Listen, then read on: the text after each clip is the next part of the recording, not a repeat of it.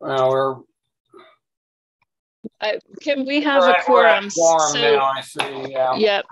So what, at nine, we're, we're good to go. All right. All right, why don't, why not, just for the record though, uh, let's, let's see who we have for sure. I've got, um, Dr. Smith, I've got Senator Erickson. I saw Monica before this thing changed. I saw John Wilson. Uh, who am I, mi- uh, Delise, didn't I see Delise? Yep. Okay. That's who I've got to. And Leetta just joined. Leetta joined us. There's Deanne. All right, we're in good shape. Did I miss anybody? Any Um, committee member? The only other member would be Terry Rice. I don't see her. All right.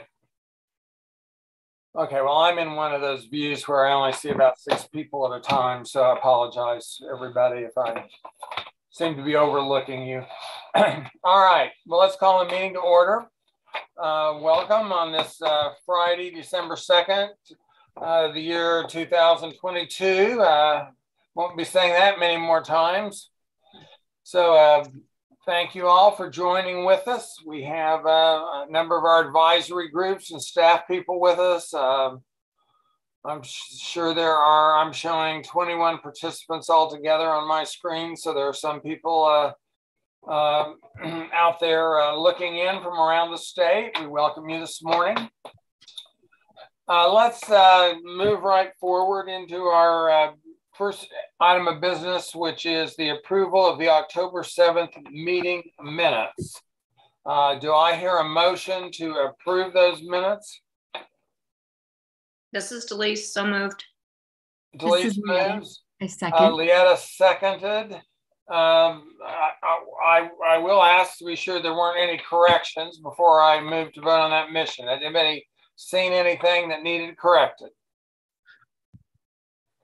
If not, uh, all in favor of approving the minutes, uh, we'll do this by uh, voice vote. Uh, so say aye, please. Aye. Aye. Aye. Aye. Are there any members uh, opposed to approving the minutes? I think the record can reflect that there was unanimous approval of the minutes. So uh, moving right along, it looks like we're going to be led into a discussion of uh, some um, recommendations coming from the Workforce Development Advisory Group. And I think Linda Logan of Casito is going to lead us uh, in that presentation. Linda, welcome. Good morning, Chairman Moore and board members. Uh, Thank you so much for this opportunity to share this information with you today. Um, My name is Linda Logan, and I work with Kansas Child Care Training Opportunities, or otherwise known as Casito. Uh, I'm a program coordinator and the chair of the Workforce Development Advisory Group. Uh, My hope for you this morning is that I can provide you with enough information so that you can see the timeline of work provided by the Workforce Development Advisory Group and the subsequent subgroups, specifically the core competencies subgroup, which recently provided recommendations to the Kansas Children's Cabinet regarding the Kansas Missouri core competencies. But first, uh, the purpose of the Workforce Development Advisory Group, uh, as provided in Casito's workforce contract with DCF, states uh, that we are to establish a workforce facilitation center to be guided by an advisory committee of early childhood collaborators and partners to coordinate a comprehensive and systematic approach to workforce development throughout Kansas. So uh, we have been very excited to do this work. Uh, our meeting started in April of 2019. And in January of 2020 was the initiation of our response to the strategic plan, specifically Goal 6, workforce, and um, the strategy 6.2.2, which is to revise as appropriate and align core competencies and the development of credentials across all early childhood care and education positions, drawing from national evidence-based practices and standards, uh, and ensure they include knowledge and performance competencies that prepare professionals to support children at all levels of ability. So as we started these discussions, we determined that subgroups would be needed to further process and organize the specific responses uh, in the strategic plan. So we uh, created or developed or organized three groups, core competencies, equity, inclusion, and diversity, and then individualized professional development plans and an, a self-assessment. These three subgroups report monthly to the full Workforce Development Advisory Group. Sorry about that. And uh, to continue uh, reporting on the progress and next steps. Uh, it was important that collaboration and partnership with the Workforce Registry and the Career Pathway Group was included for a seamless alignment uh, for these workforce systems. So now let's focus on the recommendations for the Kansas Missouri core competencies. Uh, you'll see a, a, photo of the current ones. Um, I want to share our research and then the factors for our recommendation. Let me just say, as a long time, uh, actually a career long early childhood professional, um, myself and the core competency subgroup members were quite excited to take on this work. For years, uh, we have struggled with the format, and even though they have been updated multiple times, they still felt left us feeling that there was something missing. Um, I will also admit that occasionally there was some eye rolling every time uh, we did approach this discussion. So the next slide, you'll see uh, my colleagues and subgroup co-members, um, and they represent the experience and the commitment to our journey. Uh, these members are familiar with and have used the Kansas Missouri core competencies in guiding professional training and course development, a training approval system, and as well as using it with early childhood students in two-year and four-year colleges. And the fact that we started meeting in 2020 and continued completely through that time uh, really speaks to the commitment of everyone. And uh, so I applaud their commit, commitment to our work. Our first step taken was to review the competencies of the National Association for the Education of Young Children, standards and competencies, and supporting documents. Our follow-up activity called for a crosswalk between the NAEYC standards and competencies and the Kansas Missouri core competencies. Our work determined that the NAEYC standards were more user-friendly within three tiers or levels. Uh, and just for reference, the Kansas Missouri core competencies have up to five levels. Um, and the NAEYC standards have been crosswalked with all the National Association standards and competencies listed on this slide. It provided us with a national standard to compare with other competencies and standards that we would review for later on. After that work, our group was made aware of many other states who also developed standards and competencies that aligned with NAEYC. After reviewing several states, we chose the following five states to review more closely to, to determine if there was more to consider. And as you'll see, those were Iowa, Texas, Pennsylvania, Minnesota, and Nebraska. During this time that we were reviewing these other state standards, we were also fortunate to be able to uh, meet several times with the Missouri Department of Early Childhood Workforce Review representatives. And they were also uh, looking at the NAEYC uh, standards as well for consideration.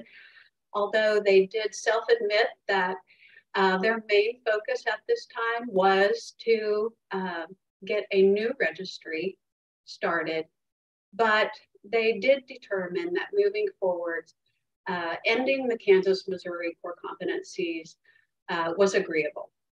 And so we then agreed that a joint statement from both states would need to be developed to announce the decision when we got to that point. so after we analyzed our, the feedback and reviews and multiple crosswalks, our converse and the uh, conversation with our Missouri partners, we decided to recommend the Kansas Missouri, Missouri core competencies no longer be used for the following reason. We found that the direct care staff in early childhood have not consistently accessed the Kansas Missouri core competencies uh, in due really to a lack of awareness. In the discussions during this time, direct care providers told us that many of them had not even heard or used um, the Kansas Missouri core competencies. The Kansas Missouri core competencies, we have not found that they are user friendly because of the multiple levels and indicators, which we found uh, in course development and training approval that they conflict with each other and the leveling is quite confusing. Uh, and let me just say that was further highlighted after the review of other states' recent core competencies.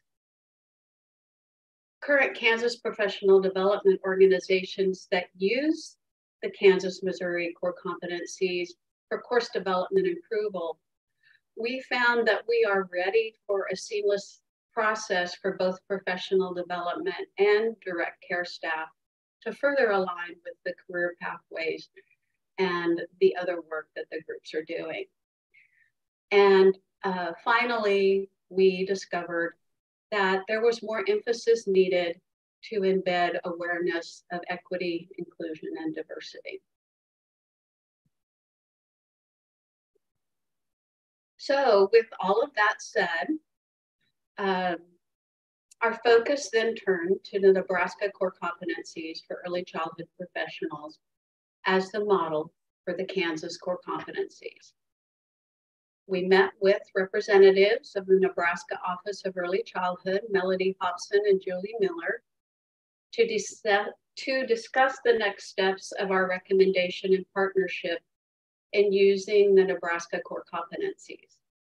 In other words, we really asked them if we could steal their work and make it user friendly for Kansas, and they were very agreeable. They provided us with the necessary acknowledgements that we would need, along with access to their open um, access course on their, on their Canvas system, uh, helping providers learn about the Nebraska core competencies and how to use them. They also have kept us in the loop. They're developing a level two core competencies online course for more experienced direct care staff and continuing to use the core competencies. The biggest piece of this, uh, of our decision, was that we felt that the Nebraska core competencies met our subgroup goals, which were uh, the following that we really wanted to build a connection between professional standards and actual practice in the field. We really wanted the direct this to be focused on the direct care staff first. Um, and the Nebraska core competencies are based on Bloom's taxonomy. And each level shows actionable competencies and a professional progression So an 18 year old starting out in her first job in providing care to young children can access these competencies all the way up to even someone like myself who's still continuing to learn but has a lot of experience and still wanting to learn new strategies and processes.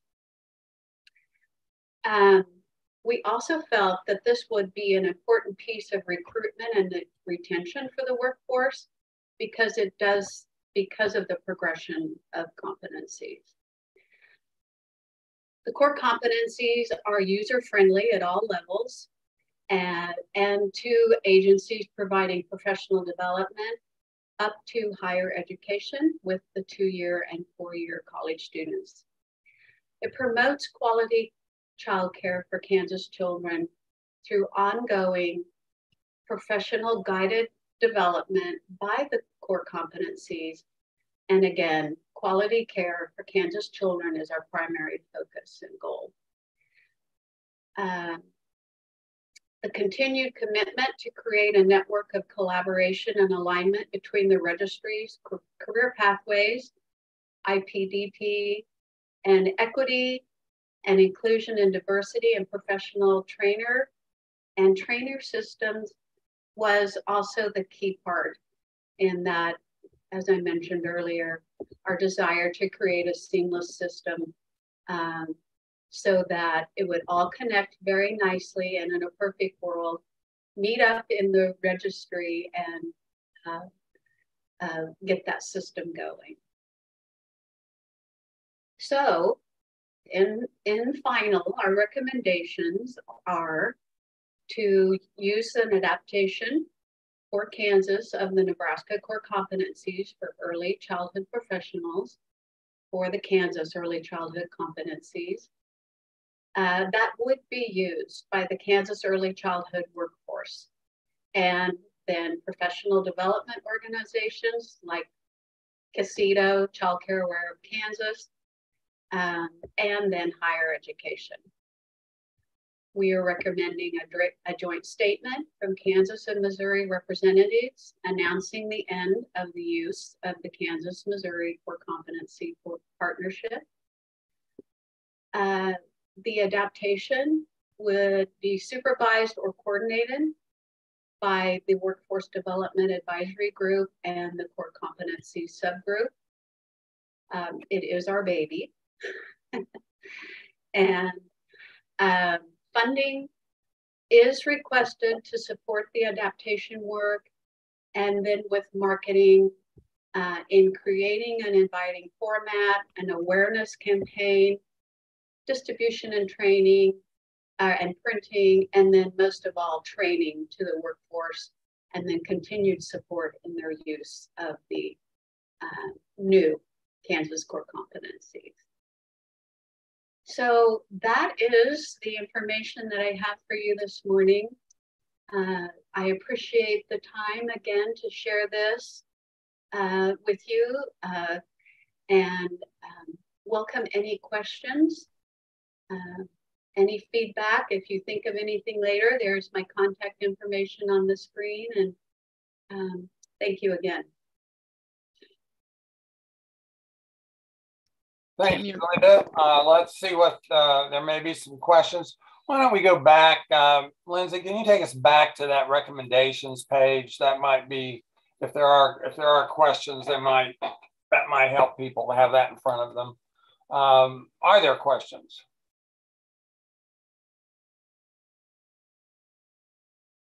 Hi, this is Monica Kim. Go ahead, Monica.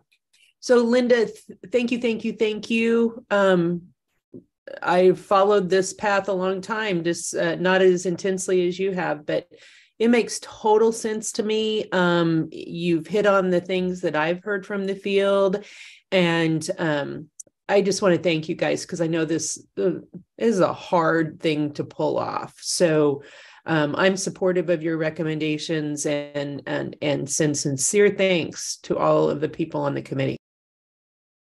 Thank you, Monica. Let me just say we learned how to keep a good sense of humor uh, along the path.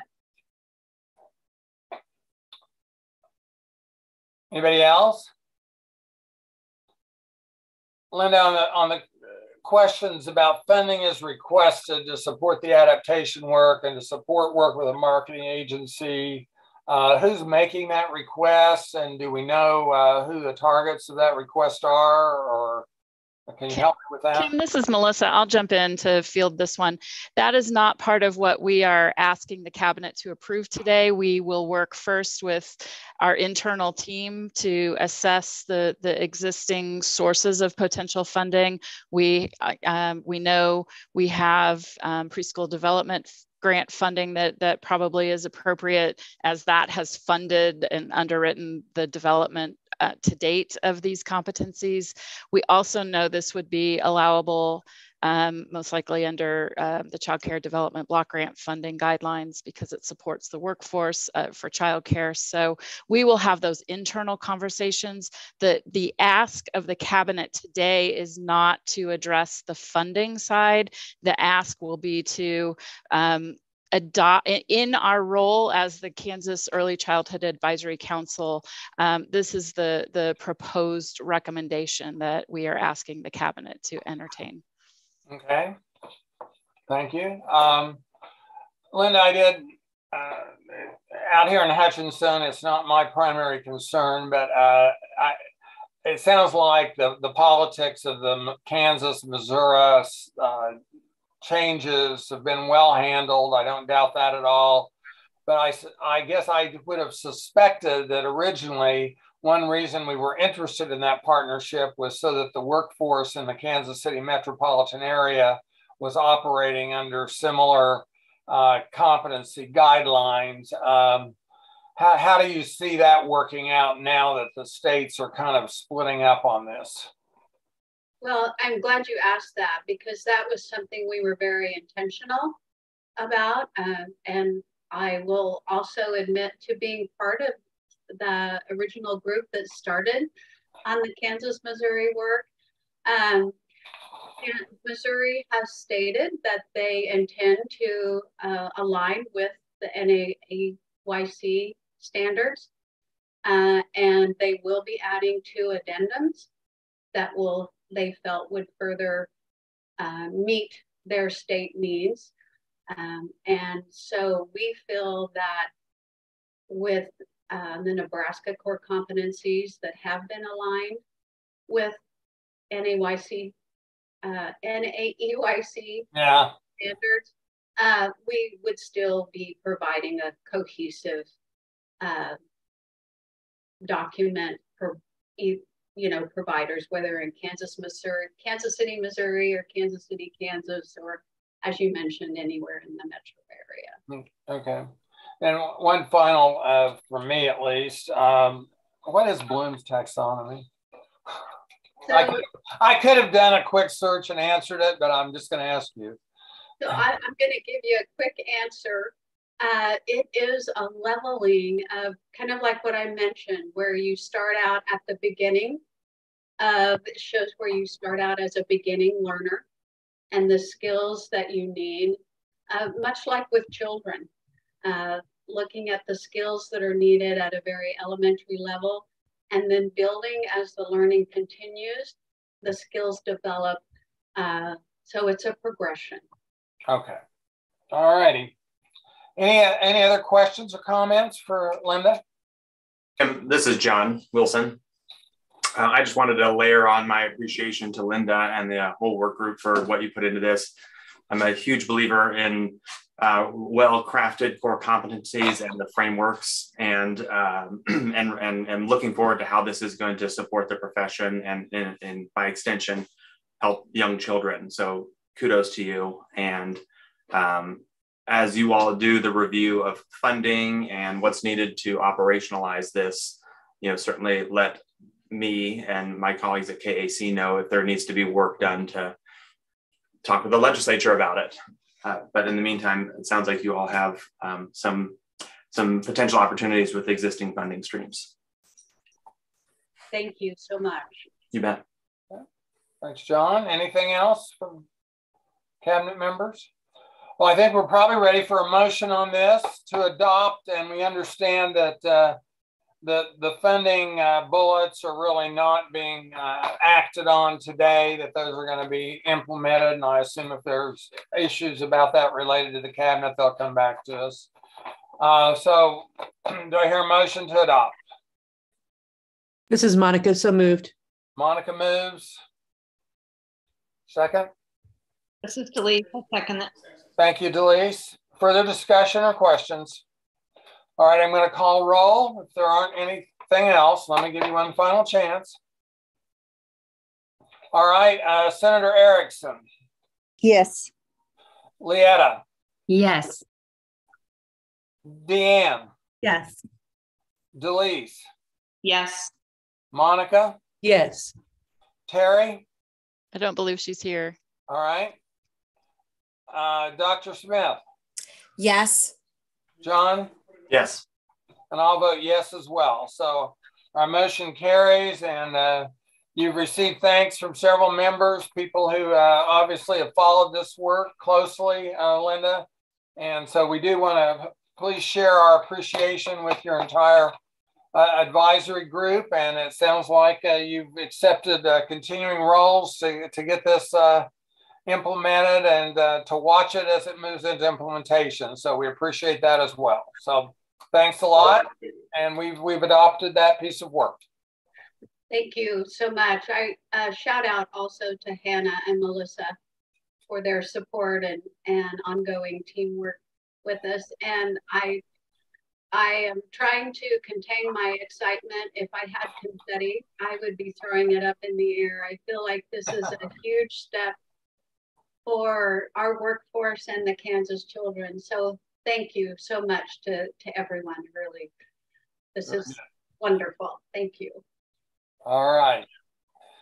Well, let's um, let's move on from that uh, exciting development, and uh, we're going to see the uh, Children's Cabinet annual report. I was trying to bring it up on my iPad. Are are are, are we going to be seeing the pages uh, as um, Jessica discusses them, or do we really need to have it brought up on a on a secondary iPad while we're doing this? Um, that's up to cabinet members. We have a series of slides, but they are not, we're not walking through the actual pages of the Okay. report. We will be posting the, the draft report online. Um, i- and understand that part of this discussion this morning um, will be to take input from the cabinet that may lead to, you know, could potentially lead to changes Uh-huh. that need to be um, dra- adopted into the report. So it will get a final version of it locked down after this meeting and um, ultimately post the final report. This is also the report that that we will convey to the governor, and then it is the report we rely on throughout the legislative process um, to to showcase the work that the cabinet engages in. So it, it's a really important document. I am excited to um, share it with with all of you and and um, publish it for the the for use by the general public. I, I want to first stop and echo um, the sentiments that Linda just expressed. I like I, I am overjoyed and and appreciative that we have have brought this particular project to this point where we we have actual core competencies to uh, to implement and help support our workforce. It is an essential part of the the pipeline that we are building to to help recruit new people into the workforce, retain um, the the existing world of of childcare professionals, let them know they're valued and appreciated, and help support them in their profession. So this was a major milestone today, a huge component of our strategic plan and a really, really important part of the overall um, approach to the early childhood care and education mixed delivery system. So I want to thank the cabinet for your support and the workforce development advisory group members for three years plus of really intentional effort um, on that score. So with that said, I am going to turn it over. I welcome Jessica Sprague Jones from the KU Center for Public Partnerships and Research. Um, she is ready to walk you through the report that we've prepared for you today. Yes, good morning. I'm Jessica Sprague Jones. I work at CPPR at the University of Kansas, and it is um, my truly distinct pleasure of being part of the team that prepares this report on behalf of the Children's Cabinet. If we can just jump in. Uh, so the aim of this report is to capture the full scope of the Children's Cabinet work for the calendar year of 2022. Uh, this particular year, thematically, we were really interested in focusing on uh, the myriad of solutions uh, being pursued in Kansas and sometimes nationally uh, to uh, expand access to early childhood services. Uh, particularly, we were, we were looking at solutions responsive to these five central tenets importance of early childhood, workforce elevation, community focus, statewide alignment, and support for business. Uh, and solutions about uh, around these five central tenets are threaded throughout the document. The first section is called Our Progress, and it starts with updates uh, to the All In for Kansas Kids strategic plan work. Uh, this year, we organized that um, those work that uh, updates around that work around three of those central tenants. Uh, the first being elevation of the early childhood care and education workforce, both through recruitment and retention and professional development. Uh, the, the second tenet that we organized the strategic plan updates around was community focus. Uh, so there are descriptions of Kansas Communities in Action, child care, the Child Care Accelerator, uh, and uh, first, and for the first time this year, we include some detail about the PDG quality subgrants and uh, some of the work that's being happen that's happening at the community level uh, through those grants.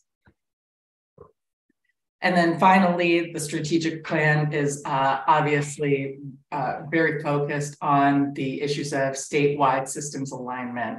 Uh, so there's a great big, great deal of detail around uh, those efforts, uh, which have been continuing over the last few years.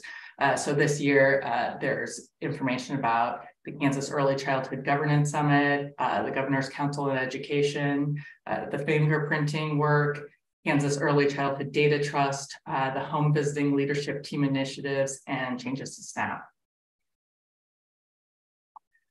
Uh, also in this section of the document, we include program profiles for every grantee funded through the Cabinet's uh, main funding streams, so the Children's Initiatives Fund, the Early Childhood Block Grant, and the Community-Based Child Abuse Prevention Programs. Uh, so for these grantees, you'll find details about service delivery, population served, uh, funding amounts um, in this section. Uh, and this gives you just kind of in terms of scale and proportion, a sense of uh, those funding streams. So this is funding by agency and program. So you see the bulk of this is uh, the funding through uh, the various agencies from CIF. The biggest uh, program funded, of course, by the CIF is the Early Childhood Block Grant. And then at the bottom, you'll also see the community-based child abuse prevention uh, programs, which uh, are federally funded and for which the Children's Cabinet is the state lead agency. Oh, I should also note Lindsay, you were probably holding on because you knew that I wanted to say that. One of the important things to note here is that this is funding for FY22. So you'll see a several program asterisk here uh, because uh, uh, per the Children's Cabinet recommendations, it's their final year as a CIF funded program or for Start Young, the final year is a standalone line item because this has been streamlined into the early childhood block grant. Yeah, I'm ready. Uh, also in this section, you'll see initiative spotlights for uh, some of the newer work that we wanted to uh, showcase. Uh, so this year that included the Kansas Futures Forum, uh, the expansion of the Dolly Parton Imagination Library, uh, Sunflower Summer, Thriving Families, Safer Children Accountability Cohort, and prevention projects of the Kansas Future Fellows. The second section of the document is entitled Data for Impact. And this is the section where we showcase uh, the huge amount of research and evaluation supported by the Children's Cabinet. Now, this particular table is an overview of all of these different projects. Um, and, but really the intention of the table is to convey that these are distinct, uh, mutually supportive initiatives uh, working at really different um, units of analysis, really different levels to provide a, a pretty complete understanding of the early childhood landscape in Kansas. So at the base level, you have your evaluations of ECBG and CBCAP, both of which are multi-site program evaluations, kind of your classic program evaluation where you understand um, services delivered and what the outcomes were for families. Uh, I should say large, exceptionally high quality, exceptionally innovative, but kind of that classic style of evaluation. Next level is the accountability process, which is really understanding the use of the CIF. And so looking at a multi-program evaluation at the state level. I'd like to talk about our tomorrows and Kansas Early Childhood Data Trust uh, as, as being two really different projects, but having a, an element that is really in common to both of them is that they're both statewide projects. And as distinct from these other projects, uh, they are not looking at uh, evaluation from the perspective of a program or a funding stream, but are truly trying to understand it uh, from the perspective of the experiences of families. So our tomorrows is narrative, story-based collection, so you understand something about how Kansas families are experiencing their daily lives, how they're coding those own experiences. Uh, on the other hand, the Kansas Early Childhood Data Trust is using uh, it is our opportunity to link different data sources in order to understand the lived experience of families quantitatively. Because families right do not just experience one program do not experience one funding stream. They move across these services uh, throughout the life course. And that's our opportunity to understand that quantitatively The accountability process section, you see here some selected results from the accountability process. My colleague Owen Cox presented on the accountability process to you earlier this year. Uh, in this section, you'll find some details about the accountability process as well as about uh, the program's uh, evaluation practices. Here you see uh, some highlights of results uh, for the Kansas Early Childhood Development Services, we see 99% of kids with individualized service plans demonstrated improved positive social emotional skills or had skills comparable to their same age peers. For the child care assistant, we find families uh, who received child care sub of the families that received child care subsidies, 68% saw their household income increase over the course of a year. For Kids Network, over 96% of parents uh, who had participated in a Kids Network event uh, indicated an invitation, intention to follow the three, one of three safe sleep practices. And for Family Pres, participating families saw 96% of kids able to remain in the home, and 99% of those families did not experience substantiated abuse or neglect during services. The early childhood block grant evaluation was presented, uh, the details of, the, of that evaluation were presented to you by Lynn Schrepferman earlier this year. Uh, in this document, we provide some details about that evaluation, including um, details about the common measures themselves. Uh, and then we also include some selected results um, in, in, much less detail than, than Dr. Schrepferman presented to you earlier. Uh, but some highlights are that uh, children um, between time one and time two were uh, there was a higher proportion of children who were on track in social emotional well-being, uh, language comprehension, and in numeracy. And uh, there was also an increase in parents displaying positive parenting interactions from time one to time two. And um, classroom, the uh, the percentage of classrooms achieving high quality increased over the course of the school year.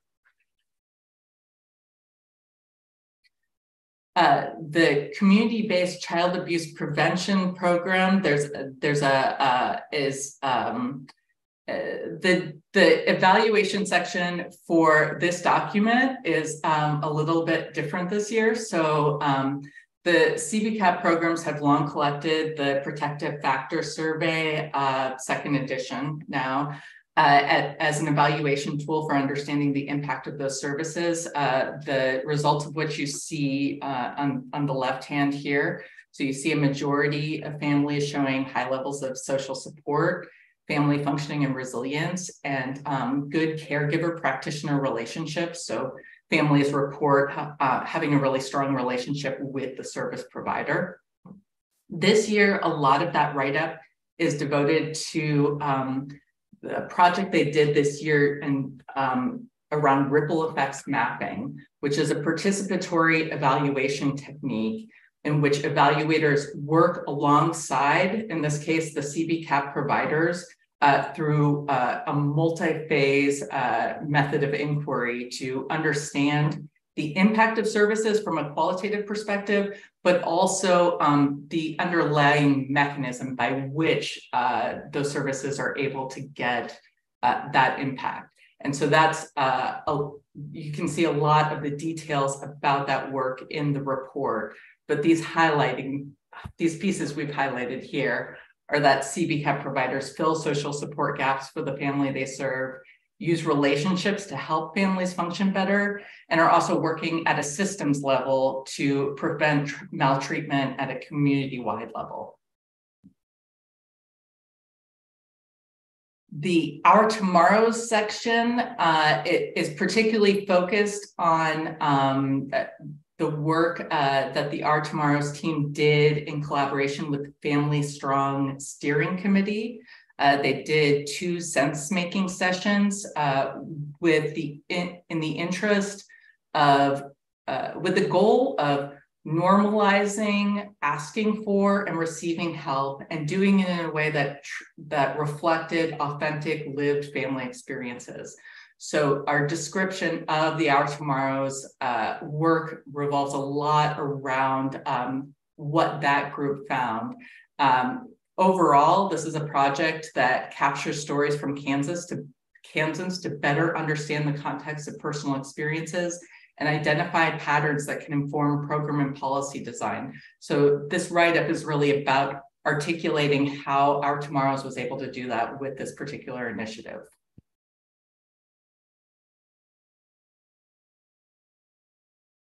And finally, uh, there are details about the Kansas Early Childhood Data Trust, um, both the, the data trust as a whole and um, the work of the now two authorized projects under that trust.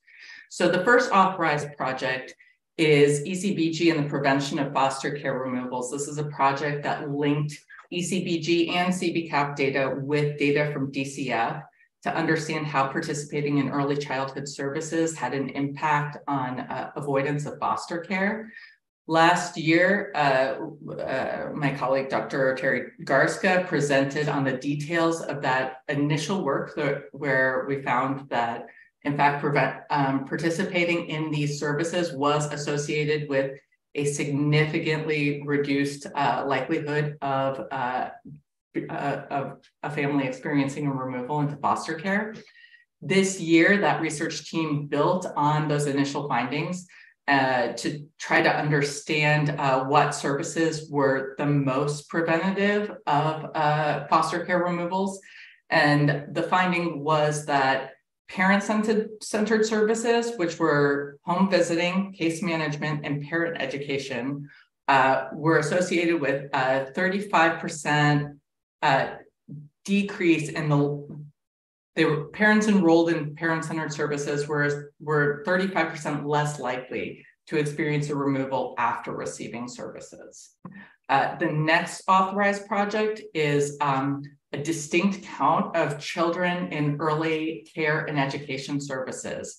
So this is linking across, I believe, four agencies to understand uh, something of that constellation, right, of services that I was talking earlier. So, so really, you know, I mean, so often with these really big evaluation projects, uh, deduplicated counts are kind of the holy grail. And this is really what this project is about, is understanding how these children are being served in different constellations of services, which is, could just be an enormous tre treasure trove to understand how these services work together for kids. Uh, our final section of the document uh, is entitled this year, Our Children's Future. Uh, this final section has become kind of the special section of the document where we look at some issues that are particularly uh, relevant to this year. And so in keeping with our theme around focusing on solutions, this year uh, we, uh, this final section features the ways that the Kansas Children's Cabinet is working to prioritize early childhood investments. Uh, next slide, please. So the first piece of that is around the work that the Kansas Children's Cabinet has done to partner with the Kansas Department of Commerce to support increased access to childcare as a mechanism for economic growth. Uh, so that uh, aligns with the all-in goal for private sector collaboration. Uh, and you'll find details there about what that has looked like, um, but has included community conversations, providing data and research on childcare access, and consulting on business development and expansion projects. There's also a section that is looking at uh, what uh, other states and locations are doing around these issues. Uh, so this is just really um, a time of, uh, I would say, enormous growth and creativity and how uh, in the different local solutions that uh, people are finding to expand early childhood access in part out of, um, of, of, a new level of recognition of the importance of uh, these kinds of services.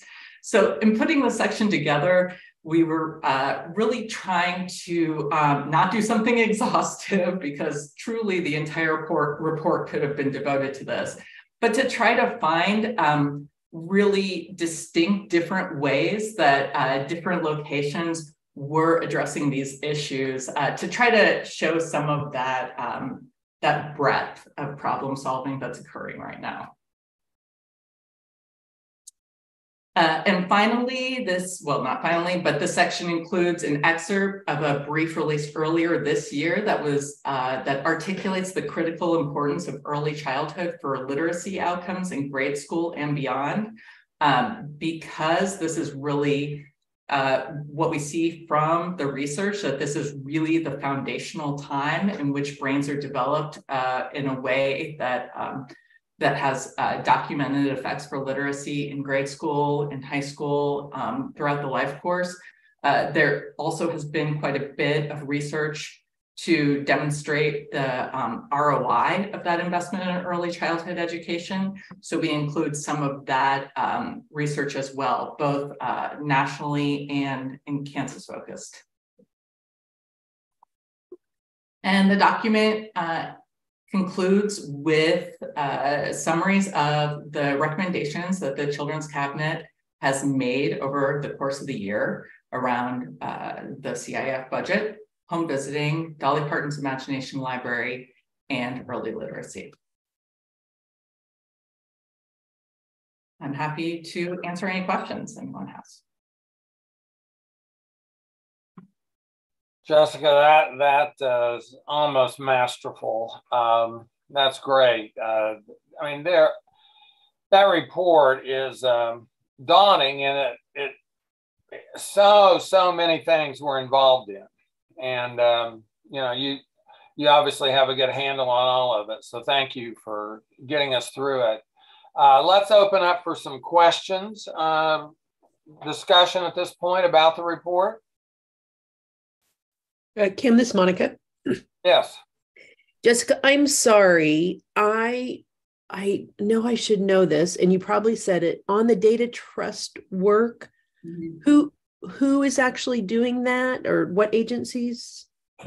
Well, so the authorized, I can find the agencies um, that are involved in the second one. Jessica, I can field this one if, if that's easier. Um, so Monica, the, the Early Childhood Data Trust was the in the first year of our, our, our 2020 work involved putting together the framework for the data trust. So we have a legal agreement that exists between the Children's Cabinet, DCF, KDHE, and Department of Education that then last year we added Department of Corrections at, at their request. We were delighted to invite um, them to join the data trust. So it creates a, an overall legal framework that outlines um, the, the general provisions around uh, data sharing among the agencies. It, it outlines ethical uses and it organizes us into a, a we have a, a, data governance board, um, which is best practice. So um, directors from each of the agencies involved meet quarterly to uh, just update on any projects that get agreed to and, um, in terms of progress and entertain um, decisions around um, any potential new projects.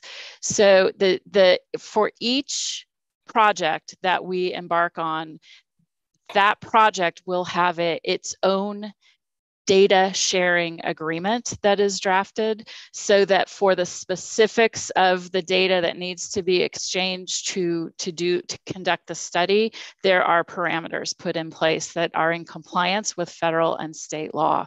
Um, and it, it, uh, the, so the, the data trust agreement outlines um, how data will be managed and all of that. So we have not created a new database. This is a case by case determination gets made in the in the data governance board meeting um, about projects like if if yeah. we have a project that we want to embark on so the the project that jessica included um, that analyzed the data between families receiving early childhood block grant funded ser services and those families that are involved with DCF um, and the child welfare system.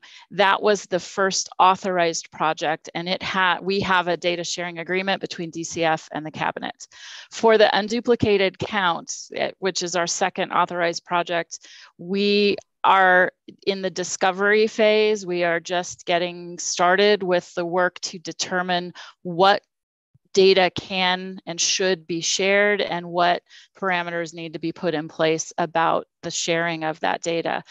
Generally speaking, um, the, you know, all, well, all best, all standards and practices around safeguarding the security and privacy of data are are followed. HIPAA, FERPA, the state student data privacy act all of that is is at the forefront of both the the underlying data trust legal agreement and then individual data sharing agreements. So agency legal teams have to review everything before we can get started. So it's a nice way of bringing us together. The cabinet serves as the trustee, so we convene um, the the the quarterly meetings and um, the KU CPPR is the the data trustee because of their work with with um, our our data management system. Okay. So they were. Thanks for connecting the dots. Yeah. Let me. I, I, first of all, it's a very attractive document. It is absolutely complete. It surely fulfills our statutory duty. My only question is should there be, is there, I guess, a four to six page summary of this because my concern is are there, are there some important audiences that simply are not going to go through 85 pages of material? Excellent question, Kim. I would agree with you. Um, over the course of the last two years, when this format has been adopted, um, we have tended, it, it can be used two ways. I, we, anticipating um, the, the use of, of excerpts from this for um, support of the legislative process, yes, I think an executive summary style document is in order and, and definitely doable. Um, we also just sometimes pull from a specific section. Maybe there's there's a, a, chart that exists in it. So so it's it's used two different ways but but you're right. Um, and i think in the past we have have created executive summaries. So that absolutely by january will be done. All right that, that makes me happy uh, and i because i was kind of interested in what senator erickson or monica or john or some of the people who deal with the legislature thought but uh, my rec my far distant recom recollections of a father who was a legislator 50 years ago would have uh, said he probably wouldn't have read all this. And I just thought, uh, I think it's important for the legislature to have some of the highlights, to have a real sense of what we're doing um, in some easy format. So that sounds great. Thanks a lot. Are there other further questions or comments? Hey, Kim, this is uh, Senator Erickson. Yes. And I want to commend the people who put this report together. I think it's very well done, digestible, uh, very well organized. So I think the report is excellent. I do, um, as a senator, have some issues with some of the legislative recommendations. And I know that Director Rooker was in our special education funding meeting, but specifically number two on page 81 about meeting the statutory requirement to fund 92%, 92% of special education funding. Um, as was raised in that interim committee, there are a lot of questions around that. Um, I don't think it's as clear cut as what uh, some people are making it to be, and I won't go into detail. I would hate to see us get caught up in um, a political debate that may or may not reflect the accuracy of that statement. And uh, so there's there's some things in there that um, I appreciate the report. I know I'm going to be in the minority, but I do have some concerns over the political positions on uh, some of the recommendations. Thank you. Is, is, it, is it all possible that we could have that page brought up, Lindsay? I, it, well, for some crazy reason, I can't get to that that draft report on my emails today. I can work on that. Give me a moment, please. While Lindsay's working on that, let me just say those are not actually the cabinet recommendations for the the the the what those are are suggested actions. They were already published as part of the early childhood and literacy issue brief that the cabinet received in June. But those are not, that is not, that doesn't reflect the formal position of the children's cabinet. So Senator Erickson, um, I am well aware there is discussion within the, the legislative body and, and over the session ahead, you all will be addressing it. Um, I, I would say um, I, I hear you and I, I've noted that sentiment, but it is not actually a formal recommendation that the cabinet is making at this time. Thank you. I do appreciate that that uh, clarification. That helps. Thank you. Great. Okay. I, I just didn't know if there might be other issues here. So thank you, Lindsay, for getting that up. Um, Are there other things here on the recommendations page? Maybe there aren't, and I unnecessarily bothered Lindsay getting this up for us. But I, I wasn't clear, Senator, if you were saying the 92% is sort of, I mean, if meaning the statutory requirements to fund, and we just left out the 92%. would be accurate or something. I, I wasn't clear. So, anyway. well, Kim, Kim, what I can tell you is there are, in a nutshell, there are conflicting statutes. And I'll give you just one little quick example. The legislature has to fund 30% of special ed transportation. The district does 70%. But when calculating excess costs, the districts are putting in 100% even though the states paid 30% so there's I there's just there's just a lot of, of, of going through the details so that I, I just want us to be sure that we're not getting caught up in a political argument that reflects on the case.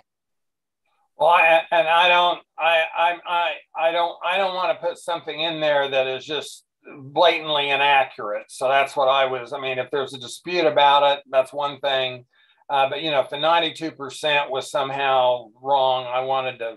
I, I didn't. I thought we ought to think about that. So okay, thank you guys. What else? Anything else on the report? Kim, this is John Wilson. I yeah. was just thinking about our earlier comments about executive summaries for busy individuals, and I was just curious, Melissa, if you could um, uh, share how we dis- do we do a targeted distribution of this full report to like appropriations committee members, or is it brought up on the day that the CIF is discussed in in in committee? Uh, John, I I it's um, I don't I don't know that we have printed and distributed 165 copies of the printed report, but we do make every effort to make it available. And I will, uh, committee by committee, make it available if people prefer the hard copy. We do print some. So it will be linked on our website and available in its entirety to anyone who wishes to access it, and we do draw attention to that. So okay. um, we we kind of try to um, do the best of both worlds. Yeah, that makes sense. I was going to say, for, from a cost savings perspective, I think yeah, uh, the, the more limited universe of appropriations committees or yeah. special days when when this uh, these issues are discussed might be sufficient. Well, and more and more people I find say, no, I don't need the hard copy. I'll, I'll just look at it online. So I will often pull the, the link to, that takes you directly to the report and, and share that via an email so that people don't have to click through, you know, the steps to get to it necessarily, but but we do like to make sure we have hard copies for anyone who prefers. I, I personally like to have the, the pages to, to open and turn. So um, we, we, we are happy to make hard copies available to anyone who wishes. Right. Um, Kim, Monica again. Um, I just like to, I think this is a a, a big deal. I'm just knowing how hard data is to look at and compare and contrast and you know all the details of of data on page 67 um, the you know the headline says parents enrolled in parent-centered services were 35% less likely to experience a removal after receiving services and listing the home visiting and case management and parent education bullets I and I think it's super important for us to note that 37% most common reasons for removal were, were substance abuse issues. When we look at the interconnectedness of all of this, and as the legislative session starts, and we like to silo things and make them seem real simple, this kind of data is what everybody should be looking at and drawing attention to this is a big deal. And the fact that people have figured out how to look at this data is fantastic. And thank you to the people who provide the services on that left hand side for doing it and keeping kids in their house. That's my soapbox for today, Kim Moore. Well, well, Monica, I agree with you. I guess I mean I I, I I'm I, I, will lean on our executive director's wisdom here, but I, to, to some degree, I, I sort of like the idea of some kind of an executive summary with some of these key points going to every legislator saying the full report can be linked. Um, I kind we of could... like I kind of like that yep. uh, because for one thing, I bet there's a lot of legislators that don't even know there is a children's cabinet or what it does. And, and that's not a reflection on anybody here. I mean, it's just the, you know, it's not their committee or whatever. And yet, I think some of the basic messages about prevention works, uh, where we are getting adequate services funded, we're seeing real differences. We are working to get the workplace childcare system uh, in better shape than it is. We're do, you're doing great coordination, so we're ending duplication in state agencies. I just think there's a lot of messages here that um, um, I don't think hurt to have as background. Is that Monica? I don't know if I'm re- I'm on the same. I, not just for the legislative session. I'm just saying, as we finish up this discussion, let's not let this little nugget of of hope and goodness go by, especially for the data geeks in the world, um, because that page 67 that that's something big, friends. This is some meaningful work. Right. I, am just big on what we're learning being shared and and not just what we believe but what we're learning and uh, i i just i think there's a lot here that's solid so, okay further discussion about an excellent report all right uh, is there uh, we need to adopt this well kim can i just before we get there i want to yeah. i want to make sure that we that we we are clear I, because our team is going to be working this afternoon to um, incorporate any any changes that need to be made. So the first question is is were there any edits that that you know did did anyone catch a typo that that we didn't catch in our proofreading or or bios that aren't what people want them to be or or anything along those lines that need to be edited out or adjusted.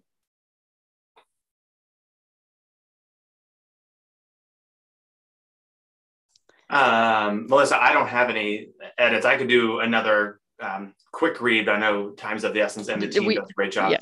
But um, I, I just I, I, wanted to say, as uh, to put on my designer hat, I love the way that the, the this is laid out. I think the headings and the kind of icons and the kind of information architecture really helps digest what could otherwise be a very uh, heavy set of content, you know? Yeah.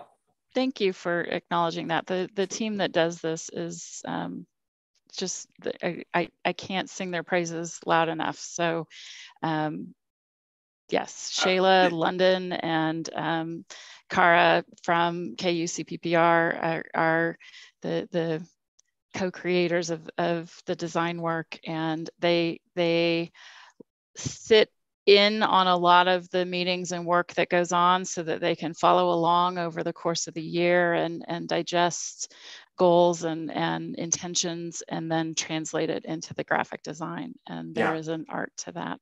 Can, if I could add one more comment to that, uh, to acknowledge the, the kind of both both sides of things the incredible work being done in community by grantees and by providers all over the state is important and and the fact that we can have an investment of time and energy to beautifully package that i think is really powerful because if we had great work happening and Arial size 12 in a 100 page report like um, that would be really deflating and lots would get lost, including the statistics that Monica highlighted that, that in and of itself could just be an infographic right there. So yeah, yeah. I, I, to everybody listening, the the a beautiful report is is is necessary to highlight the beautiful work happening in community. Well said, John. Well said. This is Lietta. Kim, can I interject as well? Sure. And give my kudos to the team who put this together. It's visually stimulating, which in our soundbite society is often necessary to grab attention to the important meat and potatoes contained within. And um, just kudos to everybody involved. And Jessica, great job on the presentation. Just just sit and soak it up when you're sharing it. It's so critical the work that we do. Um, I personally love a hard copy, and I think with the new, for the new members of the legislature, it's worth the investment of printing it so they can have it to just grab and go back to. A lot of times it's hard to find the digital links and know exactly where to go. Um, I personally, Melissa, would love a hard copy to have okay. um, for myself and even one or two to share here locally. I'm thinking of a couple of new legislators uh, here in Olathe that I'd love to take to coffee and be able to flip and point to to um, highlight specifically what Monica highlighted uh, for the foster care. I mean that that's mind blowing, and um, and the SPED number. Um, I know that Senator um, Erickson um, took issue with the 92% um, statutory requirement, and maybe we could talk about maybe equalizing what the current investment is so that some districts don't get way over 92% and some way below uh, or we could maybe work on the wording of that but the way it's done now is very um, um, ine- inequitable let's just say that and inadequate um, as a school board member in Olathe, I can tell you the SPED funding is broken. So whatever we can do to rectify that situation, I think that we as a cabinet could um, agree that that would be what's in the best interest for Kansas kids. So I would support however we word that to uh, reflect what's best for kids as a cabinet is what we would um, support, I would think. So I, I love this. It's a great document. Well done as always. And, and just want to say thank you. I really appreciate it. So listening to conversation from the board around the special ed funding, I, I think what's important is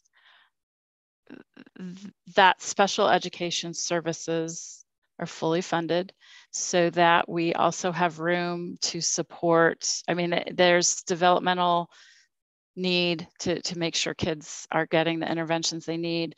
It also helps from a practical standpoint. I think, you know, to, for districts to be able to direct operating funds to early education would be a goal that I think we could all agree on um, is worthwhile. I, if the 92% number in in in its specificity and that is currently the statute.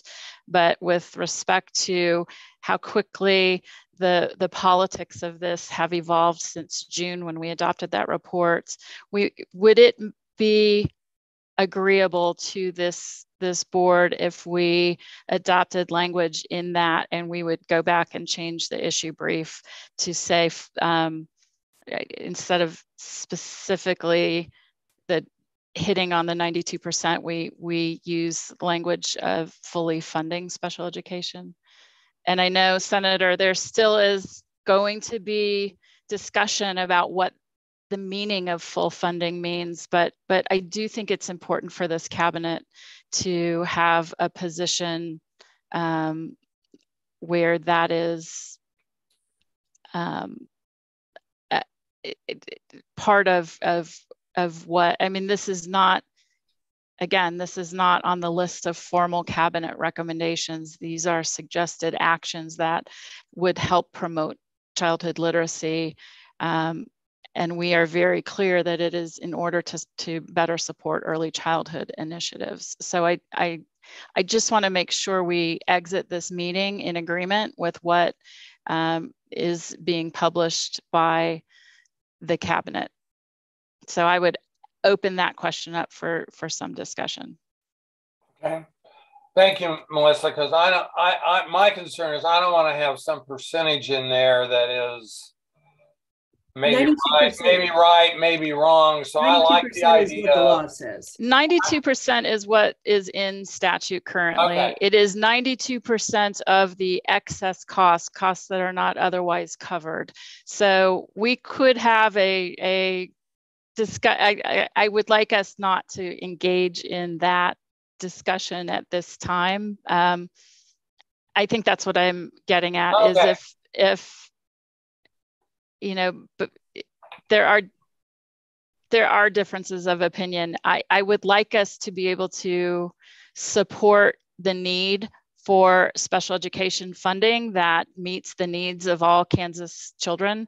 Um, so I, I, I will stand firm that this this action should remain on the list. But if the 92%, um, I like, I, I just would like to uh, make sure we exit with a consensus here, a, a majority opinion of what that particular point ought to say.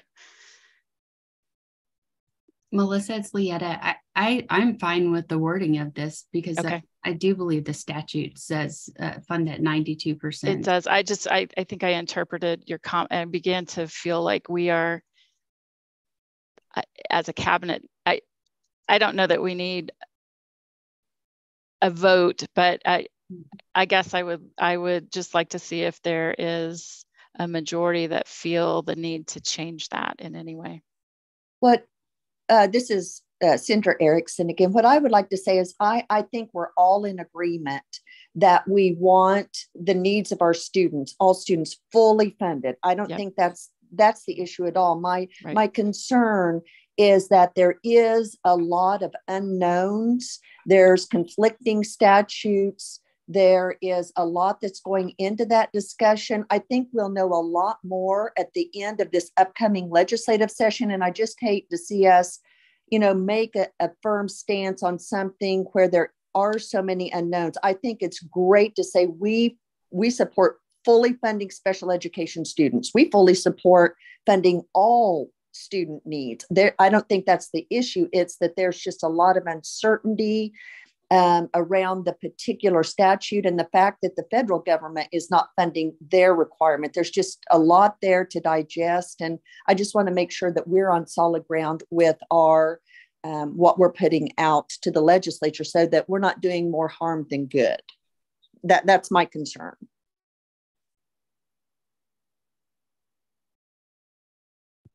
So I and, I, I I'm I'm wanting to make sure that that I, I understand the will of the board on this point because I, I, I do hear what you're saying, Senator. Um, so I.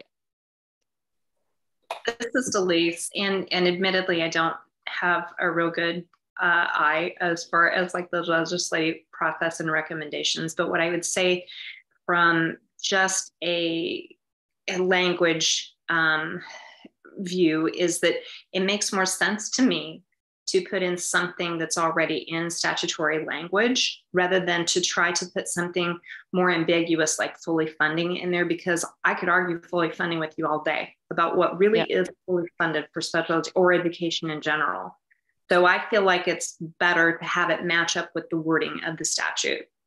Well, that is the current statute, and you know, in in the future, the the potential exists. The legislature could address changes to it, but at this time, and and at the time the brief was written, that is the language in Kansas statute. So now to Senator Erickson's point, um, federal law, IDEA. I mean, we could have, uh, we could add to this list of actions another point that is aimed at the federal government's um, meeting their obligation under IDEA to to um, increase funding for special education. I mean, I would I would be very comfortable with that if if we want that as a companion to the actions of um, the Kansas level of things.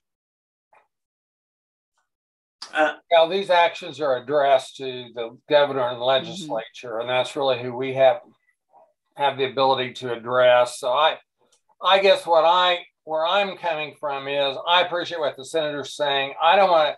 There may be disputes around some some some of these terms, uh, but if that's what the statute says, I'm comfortable leaving it. But I do I do I like reasonableness. If excess costs are part of the issue, of how people are reporting it are part of the issue, if the federal government not paying their share of it's part of the issue, I would hope that as we advocate, we would keep those things in mind. Uh, but I'm comfortable leaving the language. But I, I, I've learned something, and I appreciate the senator bringing these points up. So I'm okay leaving the language as I understand the situation. And Kim, this is John Wilson, and I, I too appreciate uh, Senator Erickson, your perspective, and you elevating the current debate. I, I uh, given that these are not the formal recommendations of the cabinet members or of the cabinet, and because it reflects the current statutory language, I, I would like to keep it. And I also feel a little bit uncomfortable retroactively addressing fact sheets as if we've made a mistake when what when what has changed has just been uh, some some folks understanding of what that calculation means. So I, I would prefer to keep it because I, I, again I think it's reflecting the facts on the ground right now as reflected in statute. Anybody else want to add a point? Has everyone had a chance to speak? I would, I'm comfortable with the current wording. Okay. It's Monica. All right. Are there, um, um, I think it was good discussion. I learned some things. I appreciate it. Um, are there um, uh, anything else about the report? Questions, discussions before we have a motion? We, we need to formally adopt this. Does, it could be as amended if you have amendments to it. So. Well, and so if if if before we get to the vote, the second area would be the formal cabinet recommendations. This is our final opportunity for 2022 ahead of the the budget process, the legislative session.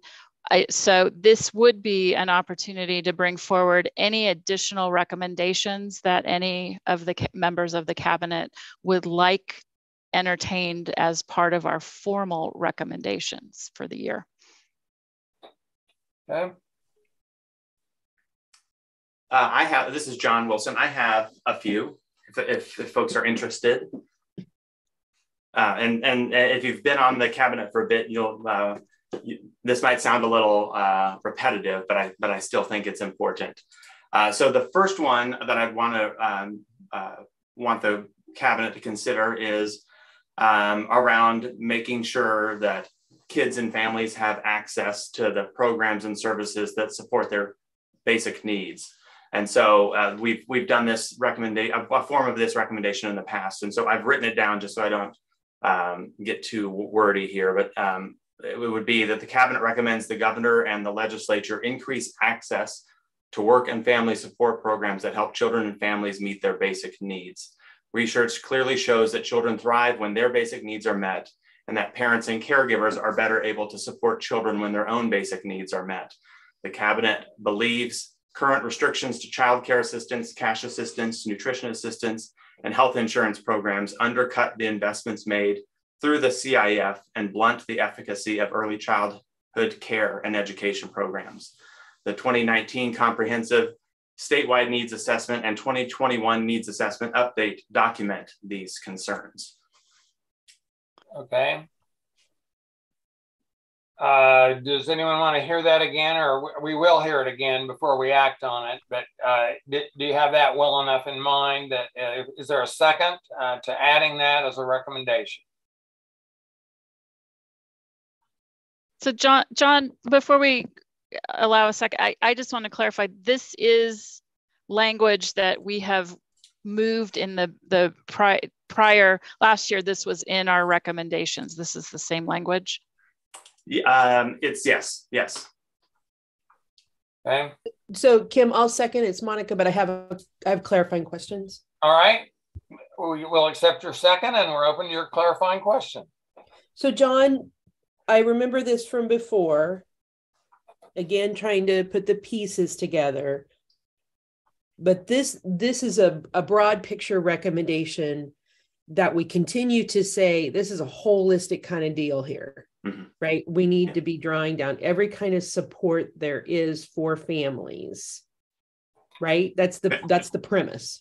Yeah that's the correct because um, kids don't just need one thing in their lives to be successful. It is as i like to i like to think of it like a recipe instead of a menu. If you're going to bake a cake you need all the ingredients for that cake to turn out. Uh, if, if, you're picking from a menu, you can say, I only want this. So this is acknowledging the recipe of supports that children and the people who care for children need. Uh, and it's basically summarizes the annual report we just approved, doesn't it? Saying uh, we have all this data and it took all of these things to get us to here. Isn't that the connection? Yeah, actually, yeah, that that's a that's a that's a great point, and it and it reflects what you highlighted on that page too, or what is highlighted by the data and the finding on that page. And for for for those kind of new to the issue, need to share that um, uh, there are um, many of the programs that support kids and families in Kansas are federally funded programs that have federal requirements and rules. Some programs uh, allow states to add additional uh, requirements to them. And in Kansas, we have some uh, re requirements that are very difficult for families to meet. And so I think uh, as advocates and people who care about the health and well-being of kids, we need to encourage lawmakers to examine any potential barriers that exist to accessing food, food assistance programs or accessing the child care assistance program or um, getting cash assistance should they fall on hard times because we know from all of the evidence uh, documented over the years through CIF work and then nationally that when kids grow up in households with toxic levels of stress, it impacts the development of their brain and can have long-term costly consequences. I, John, I, just to clarify, what people are seeing on screen is the language of this recommendation in writing. Lindsay, is it possible to make it a little bit larger um, for my tire? There. So, so this is the the the language, just so you know people can process it um, after having heard it. Now you see the words. And and I guess so. It's not word for word because it references the 2021. Yeah. Um, right. I thought you added a new needs assessment, but other than, other than that, it's the wording. Correct. Okay, further discussion. Did we get a second? We did. Monica seconded. Sorry. Is there further discussion? Questions? All right, I'm going to call roll on this. Can you bring back a roll call vote for me? All right, the motion is to add this as a recommendation in our annual report that would go uh, as, as, a formal recommendation uh, based on our experience of our programming. We're recommending that uh, these the changes be made to improve access to these basic need programs supporting families. So, uh, Senator Erickson. Yes. Uh, Leetta. Yes. Deanne. Yes. Delise. Yes. Monica? Yes. Uh, has Terry joined us? I don't believe so. Dr. Ty, Ty Smith? Yes. John? Yes. And myself, yes. All right, thank you. All right. Uh, are there other uh, suggested additions to the recommendations? I have I have one more, if that's okay. All right. But indulge me here. Um, a, a, much much shorter recommendation here, uh, and it has to do with uh, our um, the the federal program. Uh, it's called the Child Care and Development Block Grant. It's the federal source of funding for our child care assistance program in Kansas. And uh, in order to qualify for CCDBG funds, the state has to put up a match. And currently, um, our match is derived from CIF dollars, but we aren't putting up enough state match to fully draw down all available federal funds to support child care affordability and accessibility, which is at crisis levels in Kansas. And so I would like to have a recommendation that the state put in state general fund dollars to um, draw down the remaining federal CCDBG funds for which we're eligible. So that recommendation would be that the cabinet recommends the governor and the Kansas legislature contribute state general fund dollars to fully draw down matching child care and development block grant funds from the federal level. And that amount, I believe, is uh, about $3.4 million needed in state general funds. And is that subject to a 50-50 match or do you know, John? That's that is that is that is the kind of additional chunk of change that we need to pull down the remainder of, of our funds. And, and I'm trying I'm trying to the feds do dollar for dollar on that, or do you know? No, they don't. It's um, a formula. Um, we send some CIF dollars to DCF to do this. We just don't have additional ability to to increase that transfer. So I guess that John, that's the rationale for state general fund dollars. Yes. Yep. Okay. Exactly. And I think um, I, I've I've pulled up some info on this. It looks to me like uh, it in DCF calculations and and I'm not sure. Um, I know Carla had a hard stop at 10. I don't Ta Tanya is on the call, um, Deputy Secretary Keys. Uh, then, if you could corroborate this, what what I'm seeing is that 1.47 million, roughly, um, of state general fund dollars would match it, would allow us to draw down 2.26 million more in federal funds which would give us 3.7 million more total ability to to deploy um, those those CCDF dollars to to help um, cover childcare costs. It, it, I know I know we weren't expecting this. Um, yeah, Secretary Keys, is does that sound right? It does sound right. Thank you. I know there were a, a few different scenarios uh, that were put together. Those those figures do sound right, and you know certainly we can refine those figures. But yes, I believe what you're describing is uh, what we would currently describe as a conversation around that. Great, thank okay, you. Thank you. I, the, the chair interrupted with a question before the chair got a second. Is there a second to John's motion? This is Delise. I'll second that. All right, thank you. Well, I thought uh, wh whatever the actual numbers are is something certainly worth taking a look at in light of the, the pressing childcare needs around the state. So uh, uh, that, that satisfies me. Anything else? Are there other questions here on this recommendation? Well, Kim, it's not a question, but it's further statement of my own recommendation, and it's that, and that's, um, you know, the the Children's Initiative Fund is made possible by people who smoke, and use tobacco products. And as that decreases, we have uh, fewer funds available to invest in high quality, evidence based early childhood interventions. And so I think this is a great opportunity for the state to start building its muscle in contributing state general fund dollars to building the type of uh, experience we want every child in Kansas to have.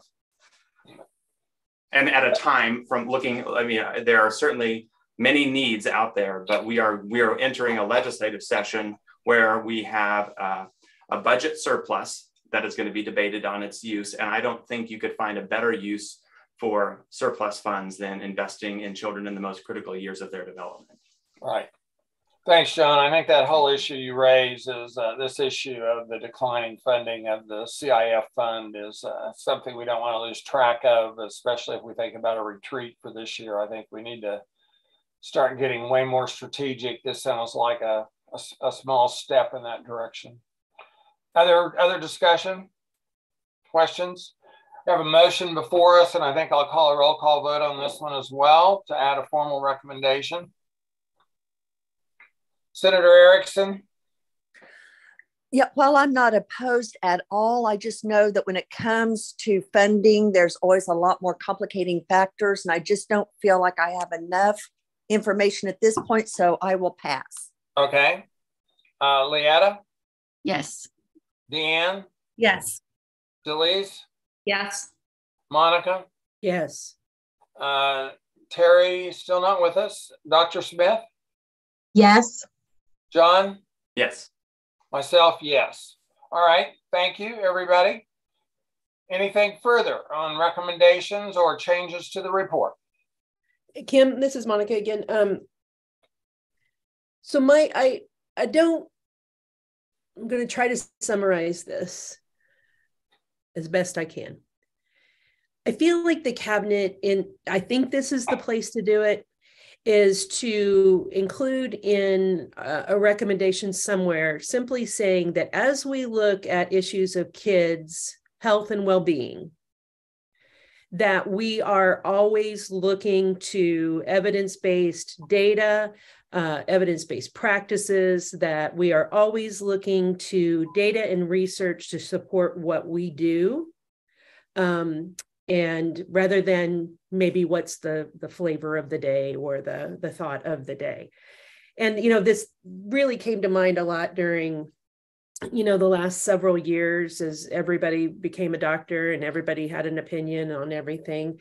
Um, I I feel like we need to make a statement that says that we are we are interested in policies, rules, regulations, whatever it is that are centered in, in data and research when it comes to kids' health and well-being. And so I, I feel like somewhere in here, I don't think we said anything like that before.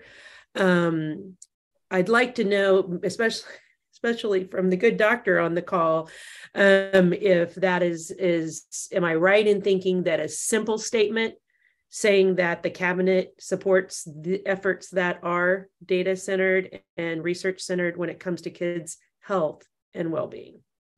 Hello, yes, I would definitely concur that that would be important so that way people know that um, this information is coming from evidence-based resources and also that we would be able to provide people with those resources because I know some people do like to look at the data and statistics and the numbers and wanting to make sure that it's not just information that people are just kind of pulling out of the air, knowing that we're not, but um, it just allows us to be accountable for that information so that way people know where the information is coming from.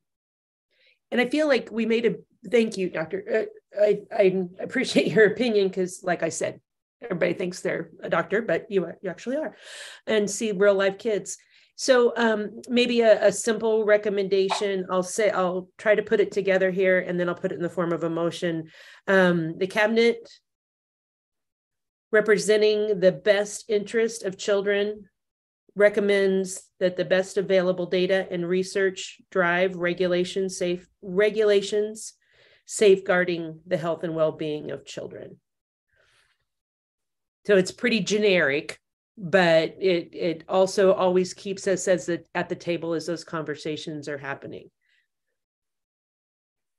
Did the secretary uh, get monica's wording? Yeah, try again. I have.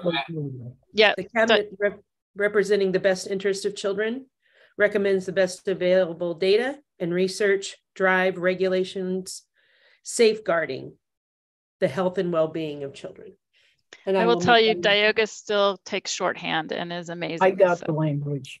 She got it the first time. That's like right. when I was trying to put it, you know, out of my mouth there. So I make that amazing. in the form of a motion. Although I, I, I, I take shorthand as well, uh, if I, if, but I have to be able to transcribe it within uh, 30 seconds, or I don't know what I wrote. So anyway, um, well, trust yours is better. Uh, that, is there a second to Monica's motion? This is John. I second it. All right, John seconds it. I think the intent is clear. It is just to underline the importance of data and evidence and the making of decisions about uh, children's programming through laws and regulations. So data is our brand, as you all have seen over the course of our meetings this year. So um, I appreciate this, Monica. May I please make a friendly amendment to the motion for Monica, just to add an evidence-based research, only so that way people know that it's evidence-based, because a lot of people do research out there, but it's not based on evidence. Will, will, will you accept that amendment. friendly amendment? I would accept that. Thank you. The second seems to as well, if I'm reading the nod on the, on the. This is John, yes, I do. All right. Yes, we live we live in a world where we need evidence and finding evidence from sources we can trust is always the seems to be the issue these days. All right uh, any further discussion? If not um, i don't uh, do you want me to call roll on this consistently melissa? Sure. Yeah sure. All right. All those in favor of this recommendation uh, senator erickson? Yes. Leetta Yes. Dan? Yes. Delise? Yes. Monica? Yes. Dr. Smith? Yes. John? Yes. Myself, yes. All right, we have taken more votes today than we have taken in any other meeting of uh, the cabinet. So I, I, I went, so, but I'm open to continuing. What other recommendations or changes in the report? Good work, everybody. Hearing none, I'm open to a motion to adopt this report, and I think that in effect directs staff to uh, finish and distribute. So it would be adopt the report as amended. As amended, yeah, it sure would be. Is there such a motion among us? This is Leetta, so moved. Leetta moves. Is there a second? Second, Tyler Smith. All right, Dr. Smith seconds. Now, any final discussion, words of wisdom? If not, I will again call roll. Uh, all in favor of this motion to adopt as amended? Senator Erickson. Are we adopting the amendment or the report? I'm sorry. We're, we're adopting that. We're adopting the report as amended. As amended. Okay. Um, no. Okay. Leetta? Yes. Deanne? Yes. Delise? Yes. Monica? Yes. Dr. Smith? Yes. John? Yes. Myself, yes. All right. Thank you all. I appreciate uh, the the good discussion we've had and uh, the learning we've had, and and again, thank you to the staff for all the good work that's accomplished. And we look forward in the ways you'll use this to further uh, the work of children and families in Kansas. So, thank you all for your work on that. All right. Uh, Melissa, I think we're turning to you for a update on the preschool development grant. Absolutely. Thank you all. Um, good discussion. And um, I'm excited to get the report locked down and, and um, put to bed for the year. So thank you to all concerned. Um, preschool development grant is, um, we are we are in the final six months of the third year of the three-year grant cycle for the implementation grant, and we um, we are beginning, as, as you saw in the core competency discussion this morning, we are beginning to see um, projects that have been underway come to fruition. So it's been a, a really exciting time and um, lots of great great work has been and is still being accomplished with with those additional resources we also this fall um, i think we mentioned this at our october meeting we were hard at work writing a new um, grant application there is an opportunity that the um, the Administration for Children and Families at the federal level made to continue the work of preschool development grants. They are are pulling back to a planning grant opportunity as opposed to an implementation grant.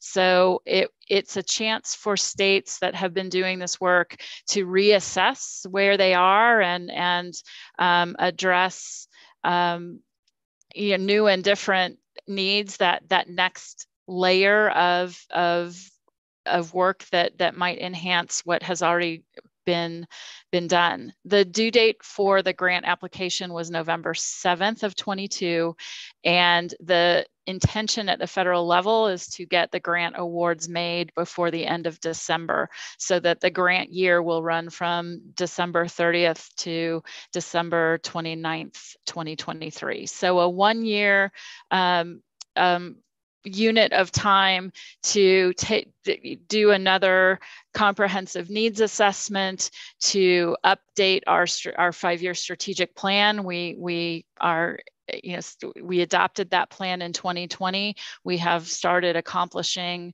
um, a, a, wide range of goals that that we outlined in that plan so it's time to assess the path forward. So this this grant is is potentially going to be very helpful in, in that kind of work. The um, total amount that they have to award at the federal level is, I think, in the neighborhood of 36 million ish. I am it's it's 36 or 37 million. Um, they the intention announced was to make 10 grant awards of a range between 500,000 and 4 million.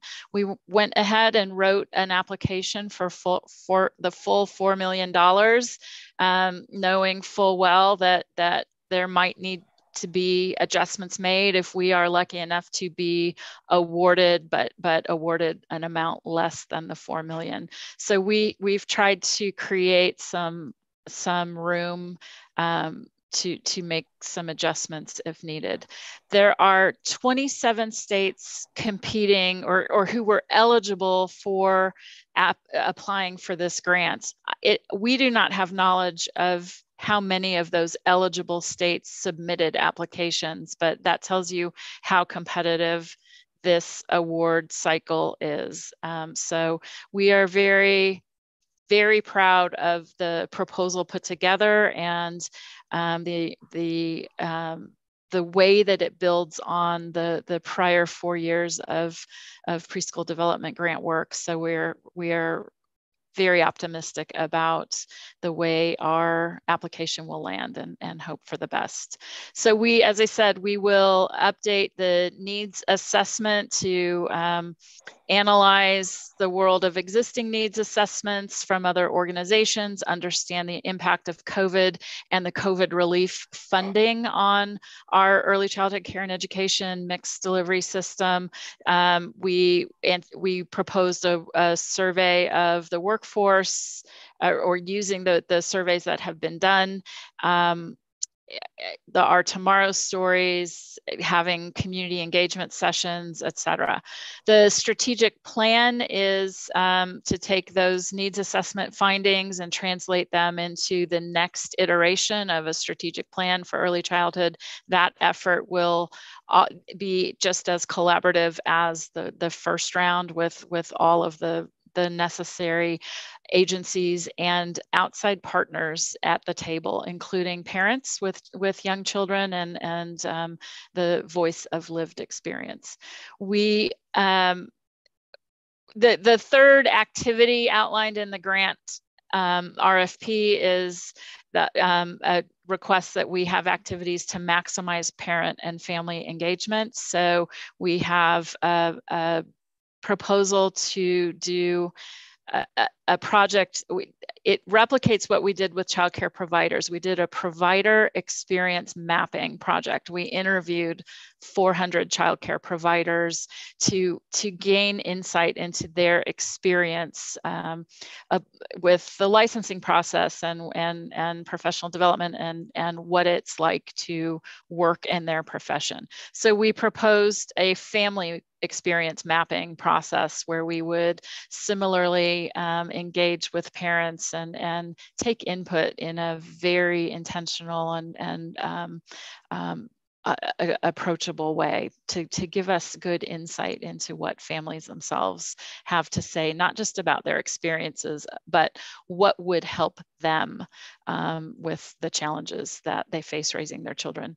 So we're excited about that. Um, activity four was um, to design um, a plan to support the birth to five workforce and disseminate best practices. So we have a, a and we cannot engage in this until the needs assessment and strategic plan have been submitted to the feds as a, as a grant deliverable item and only then can we go ahead and, and address the, the workforce. But um, we have a pilot that would pick some communities that that we would um, do some some work to um, uh, um, on recruitment retention and um, multi some outreach to multi-payer models that um, would be community partnerships. So it's it's an idea that we have been been working to, to bring to fruition. So this would give us the chance to actually put a pilot out in, into a couple communities. And the, finally, um, support for overall quality improvement. Um, so this would involve um, helping distribute the Kansas Early Learning Standards and enhancing family engagement and partnership standards for early childhood. I will say that part of the needs assessment and strategic planning will be um, to assess the the system itself, the the overall early childhood care and education mixed delivery system that is spread across at least four different state agencies. So we we have been very interested in how we best align and, and maximize the resources that exist. Um, so that is the status of the grant. Um, by the time we meet in February, it will be known and we will be uh, two months in to, or, or at least a month into the work should we be awarded a grant um, and I, we will be sure to make an announcement once we hear something from the feds um, I am, I think another component of, of achievement is um, the milestone with regard to the workforce registry. We have been talking about this with you, telling you the RFP is out there, the applications have been reviewed, the contract is pending for the, better part of 2022. It is a data system that we are, are proposing. It's an IT project.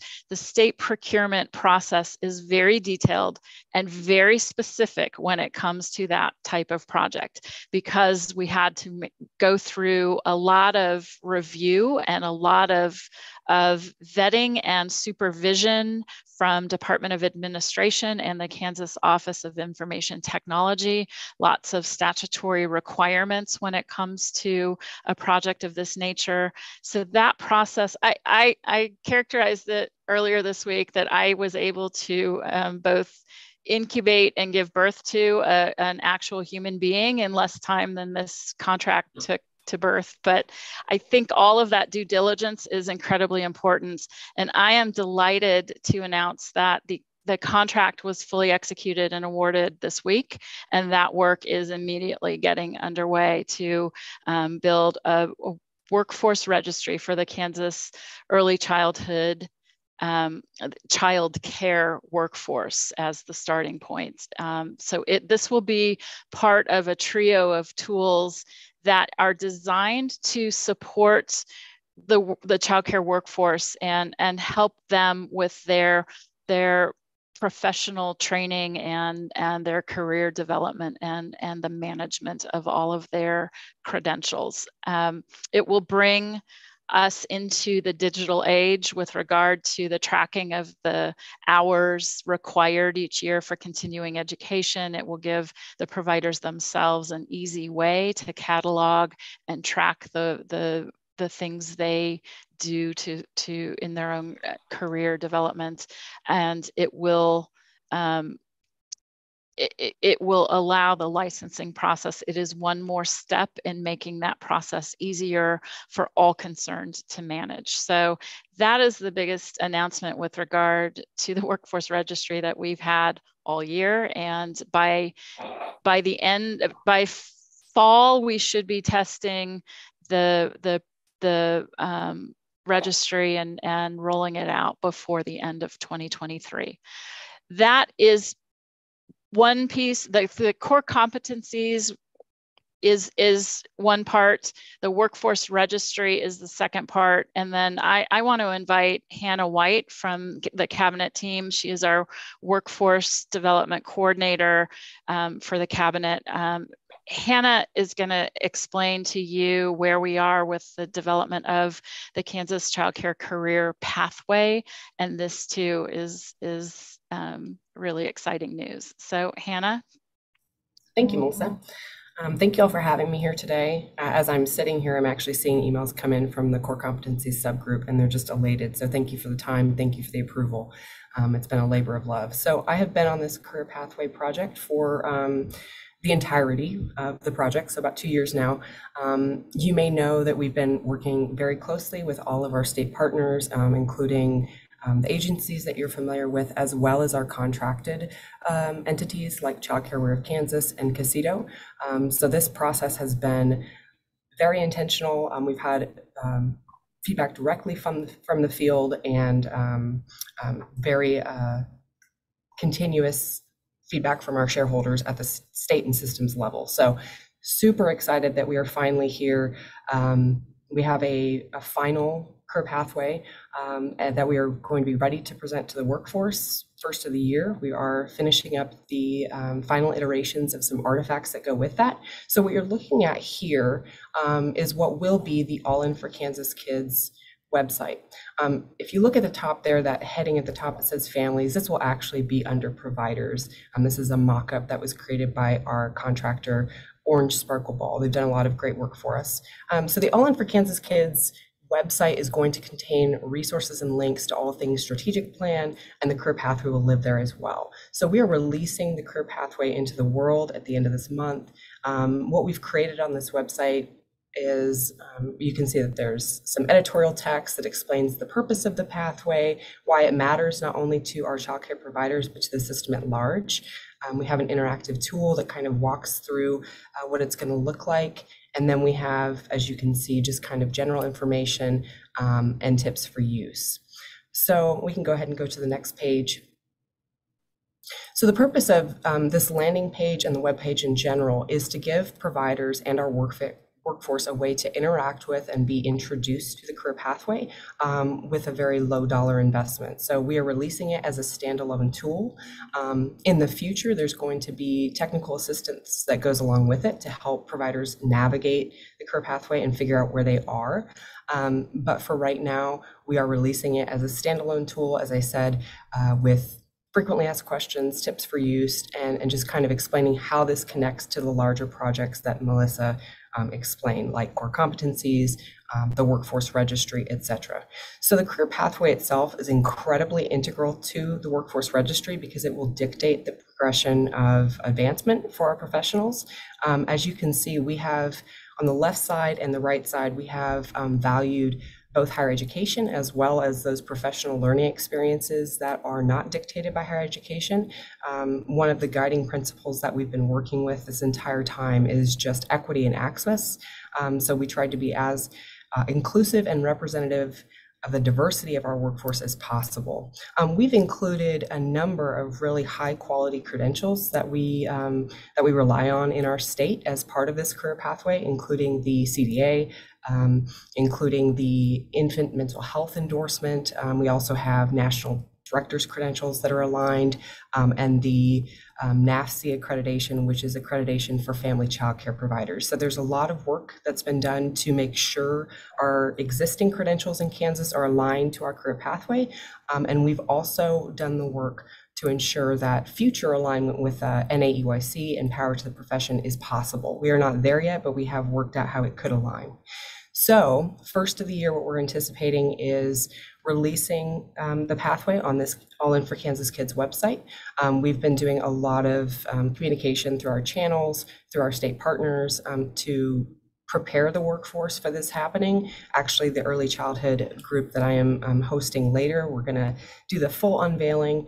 Um, and if you can't see on my face how excited I am about this, just use your imagination. It's been it's been two full years of hard work and um, and collaboration and convening with all the key players. So um, this tool, we're just we're just super excited about it, and we're very grateful to have um, one place that people can go to stay in touch with all things strategic plan, including these important workforce elements. Eventually, a lot of these components are going to be um, interfaced with primarily on the registry, but we're finishing up iterations. As I said, I believe the 14th is kind of our um, we, we have to be ready to go with coding and everything that needs to go over to Trezolo to make sure it happens. But we are actually ahead of schedule, which is incredible.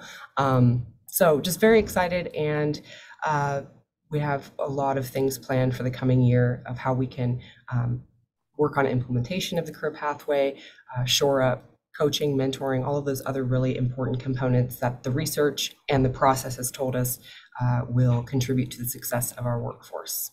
So I am willing to answer any questions, um, but I just want to say uh, big shout out to Orange Sparkle Ball and then also the team at Trezolo and of course KUCPPR because um, the career pathway team has a lot of ideas, but we are not great with visuals. So the, the appealing nature of this has nothing to do with us.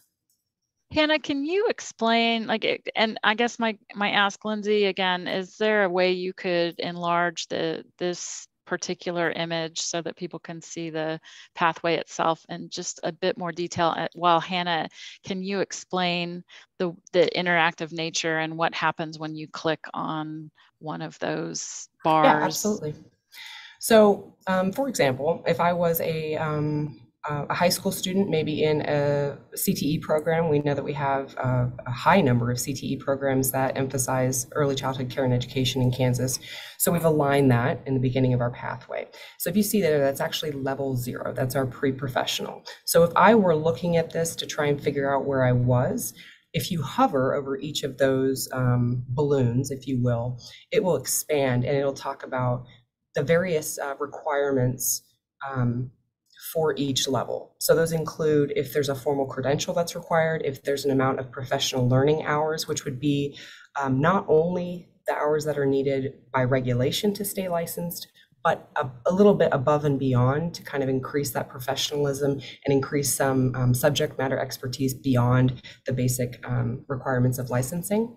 Um, and then it also would illustrate if there's any on the job requirements. So the parameters for each side differ. Um, the higher education pathway, which is on the left, obviously has a heavier emphasis on higher education courses, um, whereas the professional learning side, um, the parameters that expand are primarily professional learning, on the job experience, and then if there's any um, um, field specific credential like the CDA.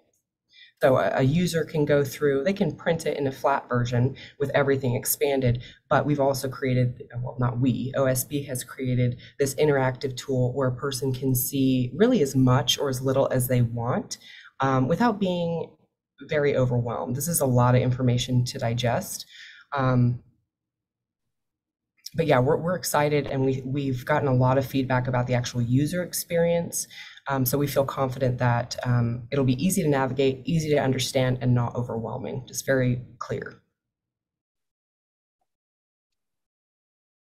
I, I, I would just um, add that we, as a guiding principle, uh, I, I think Hannah mentioned that this we want this inclusive. Uh, I, that actually speaks to honoring both professionals who have pursued college coursework level um, credentials, as well as those providers who are in the profession and are licensed and doing their their certificates and and the continuing education hours required of them but you know just wanting to do what's necessary. They love kids. They they're taking care of kids but but they're not interested in college. We've honored both experiences and, and we want all of our existing workforce to see themselves in this pathway and not feel like they are suddenly being shut out so there there is something for everybody in this you could enter this pathway at different points depending on your level of experience and it's it's meant to be an enhancement tool and and something that provides support and um, creates you know we talk a lot uh, when we're talking about workforce development programs about stackable credentials. I, I think this is this is our attempt to to put some organization around how you chart a course to growth in your profession as a childcare provider. Absolutely, Melissa. And that is one thing I kind of forgot to articulate. Any one of these levels can be um, a provider can enter into the career pathway. So it does not have to be sequential. It, it can be sequential. A person could absolutely move from the CTE program and maybe all the way through um, a unified uh, early childhood degree, but it does not have to be. We know that our providers come from all walks of life. They come in with maybe a bachelor's in, in nursing or um, they come in with a CNA. Um, we have just such a diversity of experience. So uh, it can be used sequentially or progressively, but it does not need to be. This is a matter of information. I know some one or more members maybe need to leave, and we are not anticipating any additional votes uh, by the cabinet at this point. So didn't mean to interrupt you guys, but I know there was a question that I thought better be answered uh, online. So, all right. Thank you, Hannah. Uh, um, I'm anxious to be able to to hit these balloons and see what pops up here for me. So, uh, but it, it looks uh, it looks uh, it looks great. So, all right, agency updates. Uh, let's see. Do you have me a list of people available? Well, we do. What do you know? Um, Hannah, we're going to turn to you first. I think uh, you're helping uh, uh, handle some things because uh, Amy may be absent today. So, um, all right. Yes, sir. So as you know, um, the primary update I have for you um, is that we are in an open application period for the early childhood block grants. We'll be accepting submissions until December 16th at 5 p.m. Um, we've been using the channels that we have, like the webinars um, and the obviously the the biweekly um, emails, to give as constructive um, information as possible to make some successful applications. I know that Amy Meek, our early childhood director, is already um, has been working on the review process and um, compiling that multi-reviewer uh, process for a few months now. So uh, once the submissions close December 16th, we will work through the process of reviewing applications and then formally submit them um, to you all in April at the cabinet meeting. So that is the only update that I have. All right. Well, thank you. Uh, Amanda Peterson, I haven't seen her smiling face, but I I don't know if her name's on here or not. Hello, Kim. Amanda, are you here? There you are. All right. Absolutely. So I have three pieces to share with all of you today, and I know it's been a lot of a lot of learning, so I'll try to be quick. Um, thing number one is that if you're interested in staying up to date on information from the Kansas State Department of Education, something that we're doing this year that i have been very excited by and pleased by is that our agency has a new newsletter that goes out every Thursday. It's called KSDE Weekly. And the intended audience is for school leaders and educators who are trying to stay up to date on um, the, the issues that, that our agency addresses. Obviously, there's a lot of work. And so this has been a terrific way, I think, to streamline communication. But something that's really exciting is that it's also an opportunity to highlight bright spots um, from around the state. So for example, on November 17th, we were able to share a really neat update from the Paola uh, consortium of parents as teachers who was doing a virtual um, Zoom series to celebrate World Nursery Rhyme Week. Uh, it was really inspiring. It was great to be able to see a real live example of how oh, not a real live example, but be able to hear a tangible example of uh, how our schools are working to address early literacy and be able to share uh, a great idea that we think could be replicated elsewhere. So if you're interested in receiving those uh, email updates, you can email KSDE Weekly, W-E-E-K-L-Y at ksde.org. Um, you'll also get a lot of information. Our, our, our, early childhood team uses those to share out uh, updates related to program administration. So I think that's a terrific resource that folks might want to be aware of. Second, I want to share a quick update on the work that's underway to update the Kansas Early Learning Standards. Um, a core group of our early childhood partners from state agencies have been working on this for quite some time, since last February. And if you're not familiar, the Kansas Early Learning Standards is a document that provides information and guidance to early educators to help really um, understand the sequence of the developmental sequence of learning for young children. It's a really important resource as we consider how we can have some shared understanding uh, across settings in our state early childhood system. And the core team has been working together with content area specialists for the past several months to address each of the eight content areas. So these are things like mathematics, approaches to learning, communication, and literacy. Uh, they're more than halfway through and they continue to work through those as they review and see. Uh, it's been some time since those have been reviewed and updated. So it's been a very good process so far. And we so appreciate the professional lenses that everybody is bringing to this work. Of course, updating this work updating the document is just one step and so as we're updating the content areas we're also considering from an overall perspective um, how they uh, address the diverse experiences of children and families um, and having this document complete will be just one step of the work. We'll also be considering once, once this is finalized, how we can make this really accessible and broadly distributed um, across Kansas so that a wide range of professionals can use these standards um, and not have this be just, you know, a really terrific document that sits on the shelf. So I so appreciate everybody who's been working as a part of that. If you are interested in getting engaged in that work, you can reach out to Natalie McLean uh, at the Kansas State Department of Education. And we are really excited for what's ahead. So if you're subscribed to the All In for Kansas Kids weekly emails, uh, if you're coming to our regular early childhood systems building meetings, you, I, you can rest assured that you'll be hearing more about this in the future, but we've officially passed the halfway mark in terms of the uh, eight content areas that are being reviewed. So I wanted to share that update. And then finally, just a little bit about preschool funding. Um, for me, it's hard to believe that it's already December and that we're already looking ahead to the 2023-2024 school year, but we are, uh, and our team is working to update the resources that we provide to school districts to help them budget and plan for their early childhood programming, particularly their preschool programming for, um, for upcoming years. And I've shared this before, but I'll take just a minute to emphasize here. When we think about our overall landscape of preschool funding in the state of Kansas. Certainly the competitive grant applications that, that we tend to talk about here, things like the Early Childhood Block Grant or the Kansas Preschool Pilot, I don't want to minimize that those are very important pieces of the puzzle. But as we're trying to put it in context, I think it's helpful to understand that other sources of funding, uh, specifically the school finance formula, also you know federal Head Start funds, are much larger uh, and, and, more sustainable sources of funding when districts are considering how they can build a really good sustainable program. And so we are trying to help districts really connect those dots and understand you know, if I have this many preschool students who are enrolled, how much funding is that generating? How much is that changing from year to year? Um, starting in 2018, the legislature uh, amended the, the state school finance formula to allow three-year-old students who meet certain at-risk eligibility criteria to generate funding if they're enrolled in approved programs.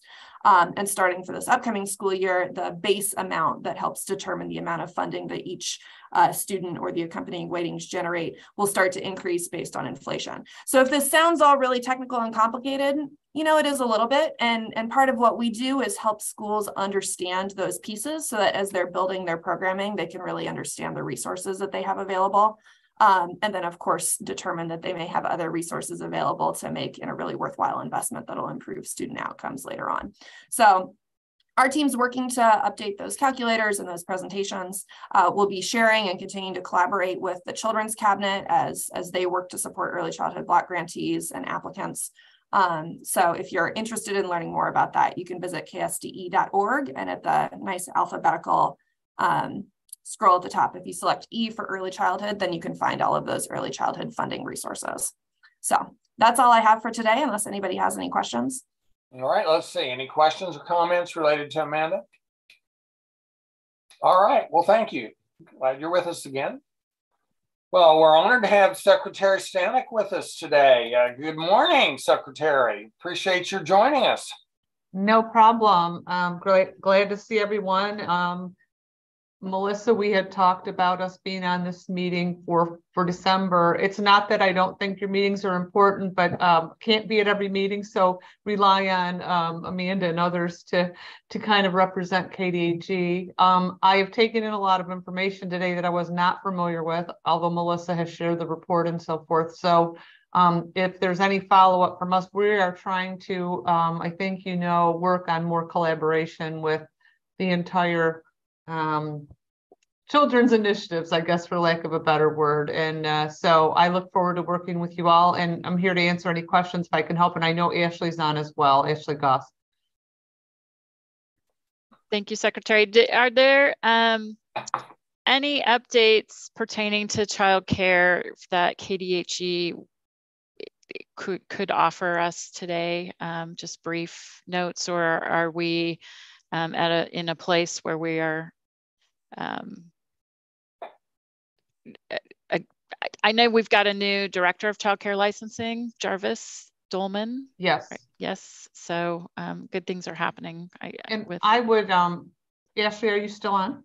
Yeah, I'm here. Yeah, so I would I would defer to Ashley, but I would I guess as the secretary, I will make this comment um, along with Ashley. Um, we have certain areas that um, now that the dust has settled for me a year later, um, you know, I have different targets and different focuses and and uh, obviously the child care area is of particular importance to us.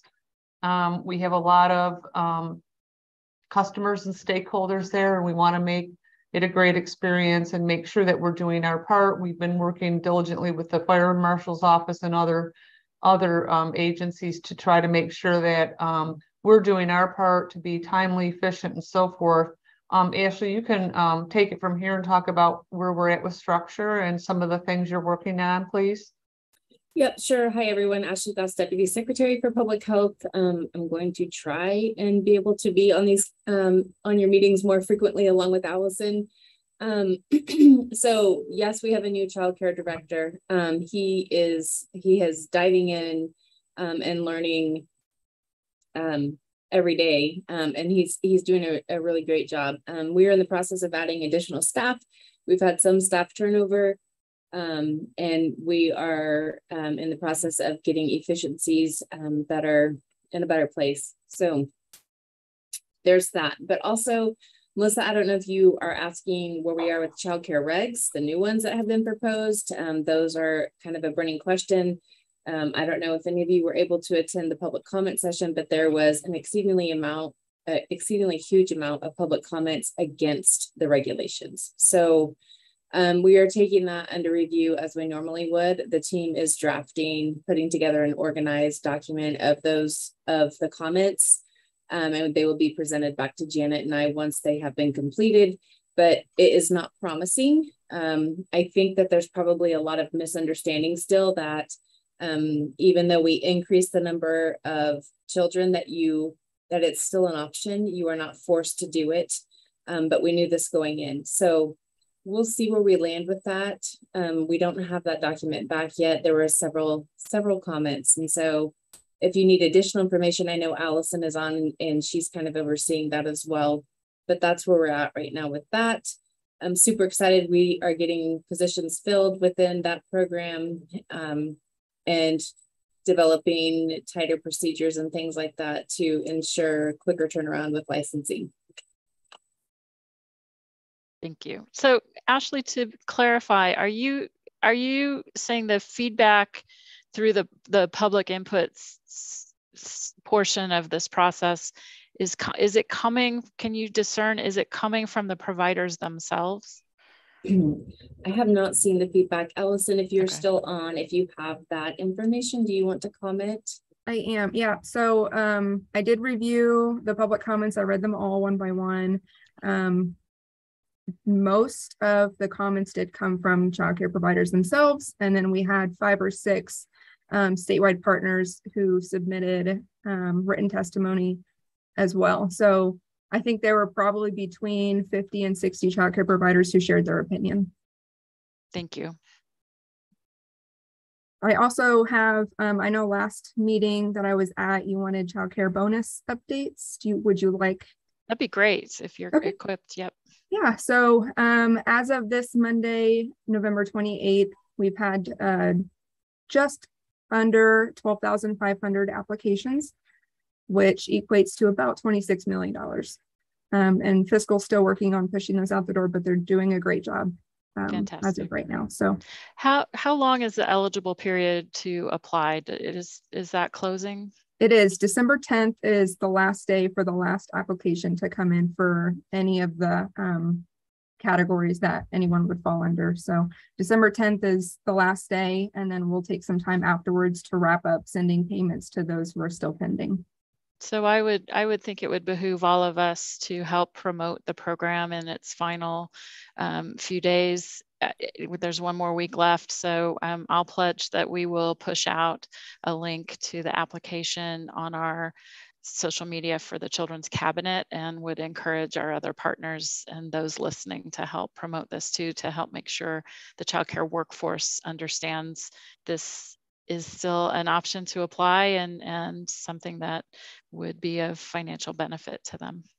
Awesome. There is plenty of funding to handle additional applications. I've yes, lost the, I've lost those numbers in my head. Yep. Yes, okay. there is. Okay. Well, I would just want to say that uh, for my four years on this uh, this group, uh, Secretary Stanek, one of the great things has been the the cooperation and the collaboration and the attention from KDHE. So I just want to appreciate what sounds like your continuing uh, pledge to Yes. To have that happen. And we all know that childcare is in the focus these days. There are, um, you know, lots of difficult issues to resolve.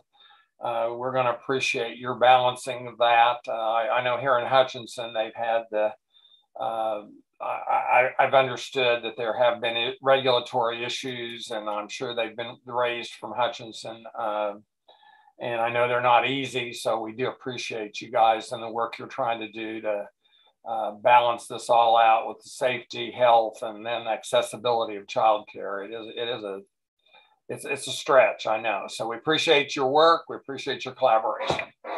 Yeah, I just say that we are really trying to, and I don't have a current status, maybe Ashley does, but trying to do more proactive, um, get out there now that we're in a better place with COVID, education about, um, I know that we have some education that's in place for existing daycare or childcare providers, but if you want to be a childcare provider, trying to get out ahead of that to avoid some of the potholes that you're describing, the safety regulatory, and it's so um, vast. It's it's too much to describe, depending on what kind of provider that you are.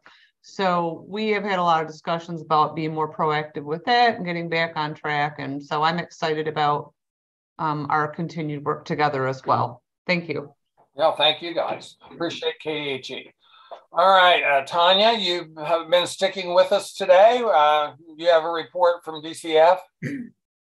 Thank you. Hi, everyone. Just a couple of updates, I think, to complement some of the uh, the information that you received earlier. Uh, DCF hopes soon to be able to announce uh, we put, had put out a request for proposal for family resource centers across the state and we've been reviewing those proposals. We hope to announce uh, those family resource centers this calendar year. It might uh, spill over into January, but we hope to be able to share that. And those family resource centers would be hubs that are community based and agencies that can be a collection of supports uh, for parents, families, youth, and others that help with their basic needs and relational needs. So uh, definitely ties in with some of what you've been talking about today. The other update is uh, we also have, uh, we are nearing completion for our family first request for proposal period. So we're in our second iteration. It's hard to believe uh, for family first prevention services. And so we uh, hope also hope to be able to announce our family first prevention service providers that would then start next fiscal year. Um, among the, the those family first prevention services are those for parent education, parent skill building, including home visiting, which you all saw the impact today of how important those programs are. So we're really pleased to be able to continue that and complement that. And we hope to announce very soon. And that, those are the only two updates I have uh, in terms of the context of what you all have been listening to and celebrating today. Well, we're, we're, we're nearing the end and we don't have time for reminiscence, but you're getting one anyway. Um, 35 years ago, I and four or five trustees from the United Methodist Health Ministry Fund traveled up north into southern Nebraska to visit this strange thing called the Family Resource Center because we were interested in what that might mean for Kansas. So I just want to say, um, I'm anxious to see these things uh, actually in Kansas and uh, look forward to, to, to, that because I think they are, they, they, they can play a critical role. So we'll look forward, Tanya, to seeing how that all rolls out and uh, where they are and uh, ability for people to use them. So thank you for that update. I think Karla Wiscombe may be absent today. And Melissa, did you though have a brief update? Uh, she just, she did send me her regrets for missing the meeting and she asked that I share that the Board of Regents is really busy focused on the system-wide general education um, package. And there is a website which we will make sure to circulate to all of you and, and um, include in the minutes so people know what we're talking about. But it is on the Board of Regents website, which is kansasregents.org. Um, under academic affairs, there is a, a, place where you can find more information about the general education um, unit that they are, are working on. So we will make sure to share that on their behalf. As a trustee of a private college, I think the private colleges of Kansas have all entered into similar uh, matriculation agreements. I think the point of it is to make it easier. Colleges for sure. So Yeah, to um, transfer credit, so there's less need, the less duplication of effort, and and it's it's a cost savings to our students, and it's just a more unified approach that a, a general education class in the agreed upon framework that you take at one institution is transferable elsewhere. So they're working on what that shared agreement looks like, is is my understanding. All great news. All right. Uh, the Honorable Retained Justice Wall may want to speak to us. Uh, Thanks, thanks, Kim. I appreciate that. Um, I just wanted to talk briefly about the Rural Justice Initiative that our court kicked off yesterday. And I promise there is a tie-in to the cabinet, even though it may not be apparent on, on the surface. But this committee is addressing the shortage of attorneys in rural Kansas and barriers to accessing justice in the rural parts of our state. And by rural, I mean both rural and frontier, if anybody is questioning what the definition might be. Um, and we, you know, we have many counties in our state that um, may have no attorneys um, and, and dozens that have just a handful. And it, that can be very problematic in a number of ways. But just for example, in a, in a child in need of care case, it, it, it's not uncommon that you'll have numerous parties. You may have uh, separated parents or divorced parents. So you have a mom, a dad, uh, grandparents who may uh, be involved, foster parents, um, a guardian ad litem, and all of them may want to have conflict free counsel. And quite honestly, it's almost impossible to um, accomplish that in many areas of our state. Um, uh, to, to find attorneys to appoint in that situation that wouldn't have conflicts. And then it leaves many of those parties in a position of proceeding without counsel, uh, which which uh, it can be problematic in and of itself. Um, that's that's just an example, but this committee I'm very excited about. It's um, a broad group of stakeholders. We've got uh, Kansas 4-H, we've got Farm Bureau, the Kansas Chamber, uh, Rural Prosperity, legislators, attorneys, judges, all trying to hone in and focus on this issue.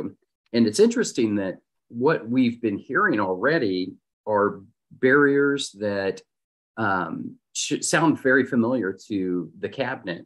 Uh, first and foremost, childcare availability is an enormous issue for uh, recruiting attorneys, younger attorneys, to um, these areas that are, you know, some some folks call legal deserts, and um, uh, STEM opportunities and, and early childhood development programs are, are, actually, we're hearing anecdotally, but very frequently are a significant barrier um, that's complicating this problem. Housing, labor shortages. So issues that are covered in this annual report.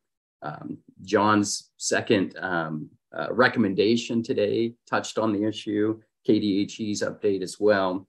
Um, and I, I'm just really excited to tackle this issue. But I found it interesting that a lot of these barriers are, are sounded so similar to the issues that we discuss here.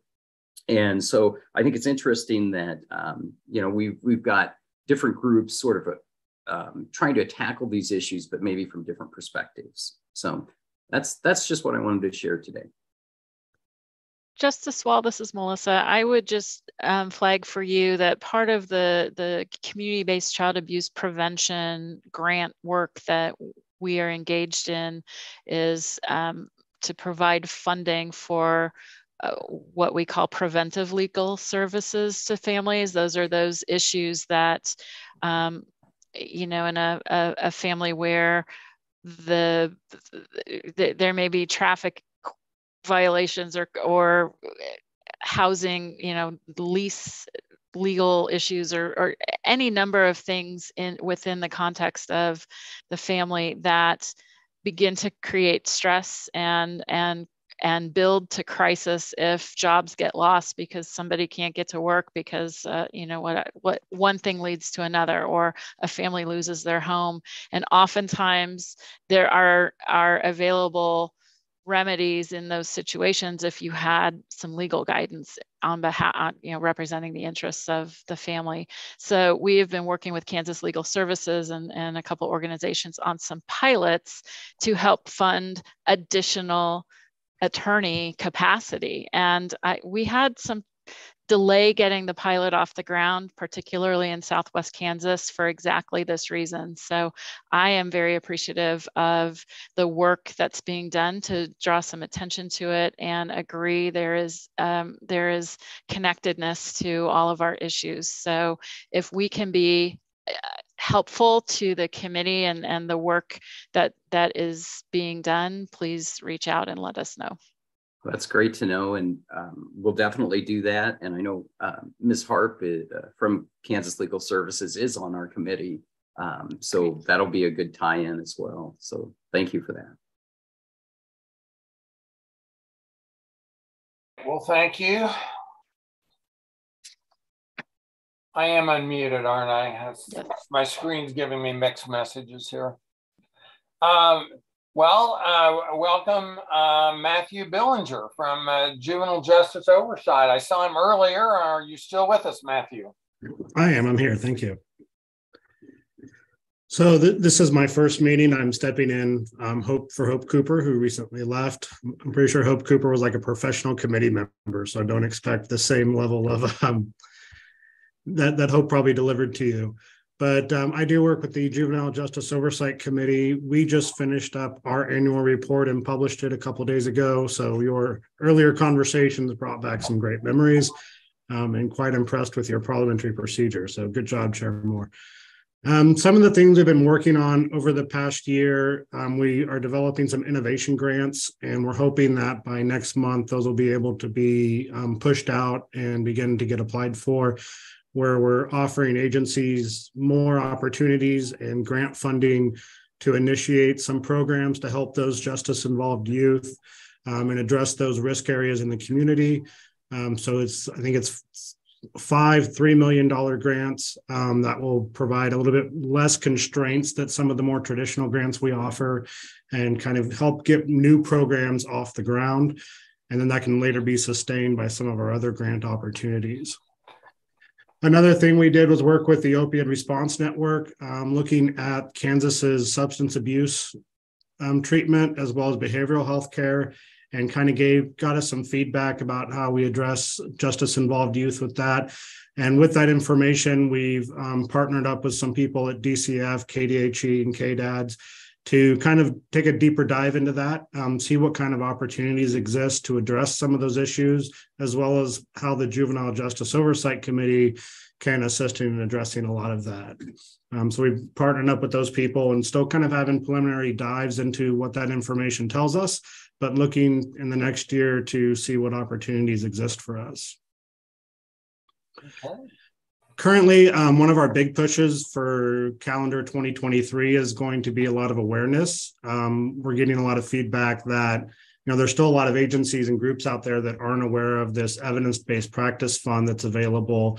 Um, so, as my first meeting here today, I guess I'll, I'll ask. Um, we are looking for distribution email lists, newsletters, community boards that we can um, kind of advertise or, or get awareness out of these evidence-based practice funds because year after year there is still money left on the table that um, doesn't get applied for. So we're looking to get those out. Of course it's justice involved youth so um, i know many of you may not have a lot of involvement with those but i'm sure you're probably connected to some that are.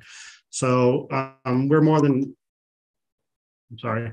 Um, we're I'd be more than happy to, to take any information or any email groups or anything you could give us um, so we can help spread that out. We're trying to kind of um, get that put out there and get it to um, more public facing opportunities or touching more organizations with that.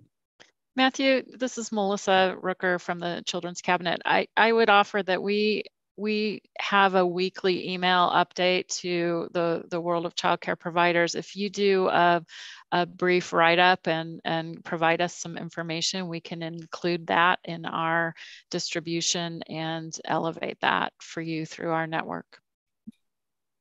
Would be great. Yeah, we're, we're getting right. We're putting together like a one-page flyer. Perfect. Um, that we can advertise, but we can also write up like a paragraph or two. That'd be great. All right, that's, that's all I had, unless you had any questions for me.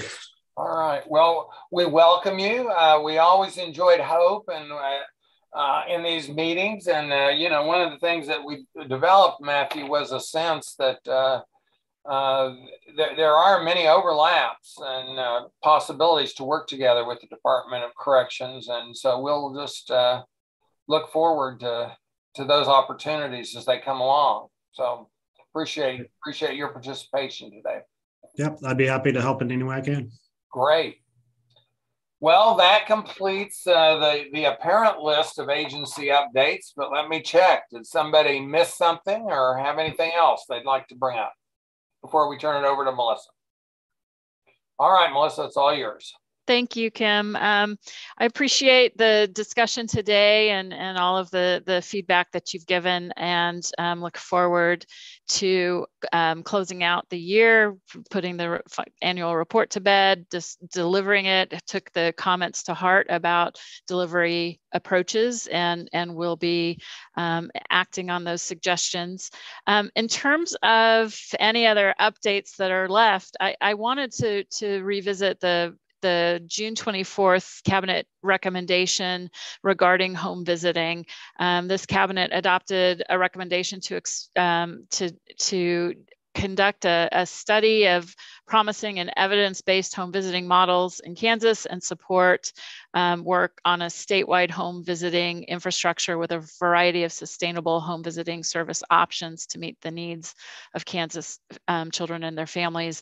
That we have eight or nine models in Kansas that are adopted across multiple um, different organizations. It's a very fragmented system, very important work as you see in the data and the results of, of our study about the impact of this work. Um, uh, we, I'm delighted to, to bring you an update that, about the work that is underway on the study that, that you all recommended um, in in collaboration with the state home visiting leadership team, which is part of the overall governance structure, we have been gathering information and and um, um, basically we we have we've had a community the the there have been 450 families who've responded to a family survey um, 455 home visitation staff have responded to a workforce survey.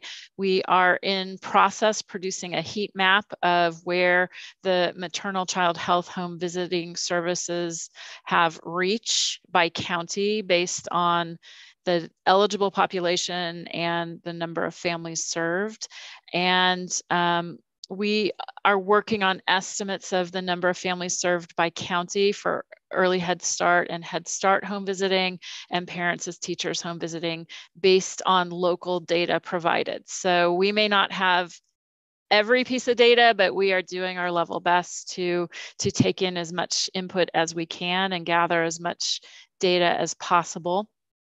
Um, and then we will take all of this work and um, um, combine it with other models um, in terms of county level data of number of families served to, to be able to map out where services are concentrated and where we have work to do as we begin the, the process of, of assessing um, what potential recommendations we might make to, to help reduce the the fragmentation in the system is is how I'll frame it. What we strive for and, and, and hope for and envision is a continuum of care with regard to home visiting services. They are of varying degrees of prescriptiveness in terms of the specificity of the type of support that they provide to families.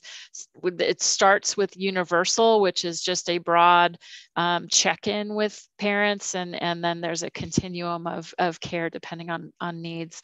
We would love to actually create that continuum as a functioning process where any family that wishes could have um, the dream is two two visits from a home visitor when they bring a new baby home. And then from there if there is need to um, make referrals to other forms of, of of home visiting for support um, that that that stems from those those initial meetings. So we will report back to you. We anticipate April at our meeting. We will have a report um, to to to present to you as as the children's cabinet. I think the the aside from all of the milestones that we've reached that you've heard about earlier in the meeting, I think the project that continues to be the, the greatest source of joy in, in my workday is the work that we do as the state lead on Dolly Parton's Imagination Library. Um, this is a coverage map of areas that have the library available to the families in their in their um, this is arranged by zip code because the dollywood foundation organizes their whole program by zip code so the postal service can get the books mailed out. The areas in white are the remaining areas in kansas that do not have a functioning affiliate taking new applicants from applications from parents.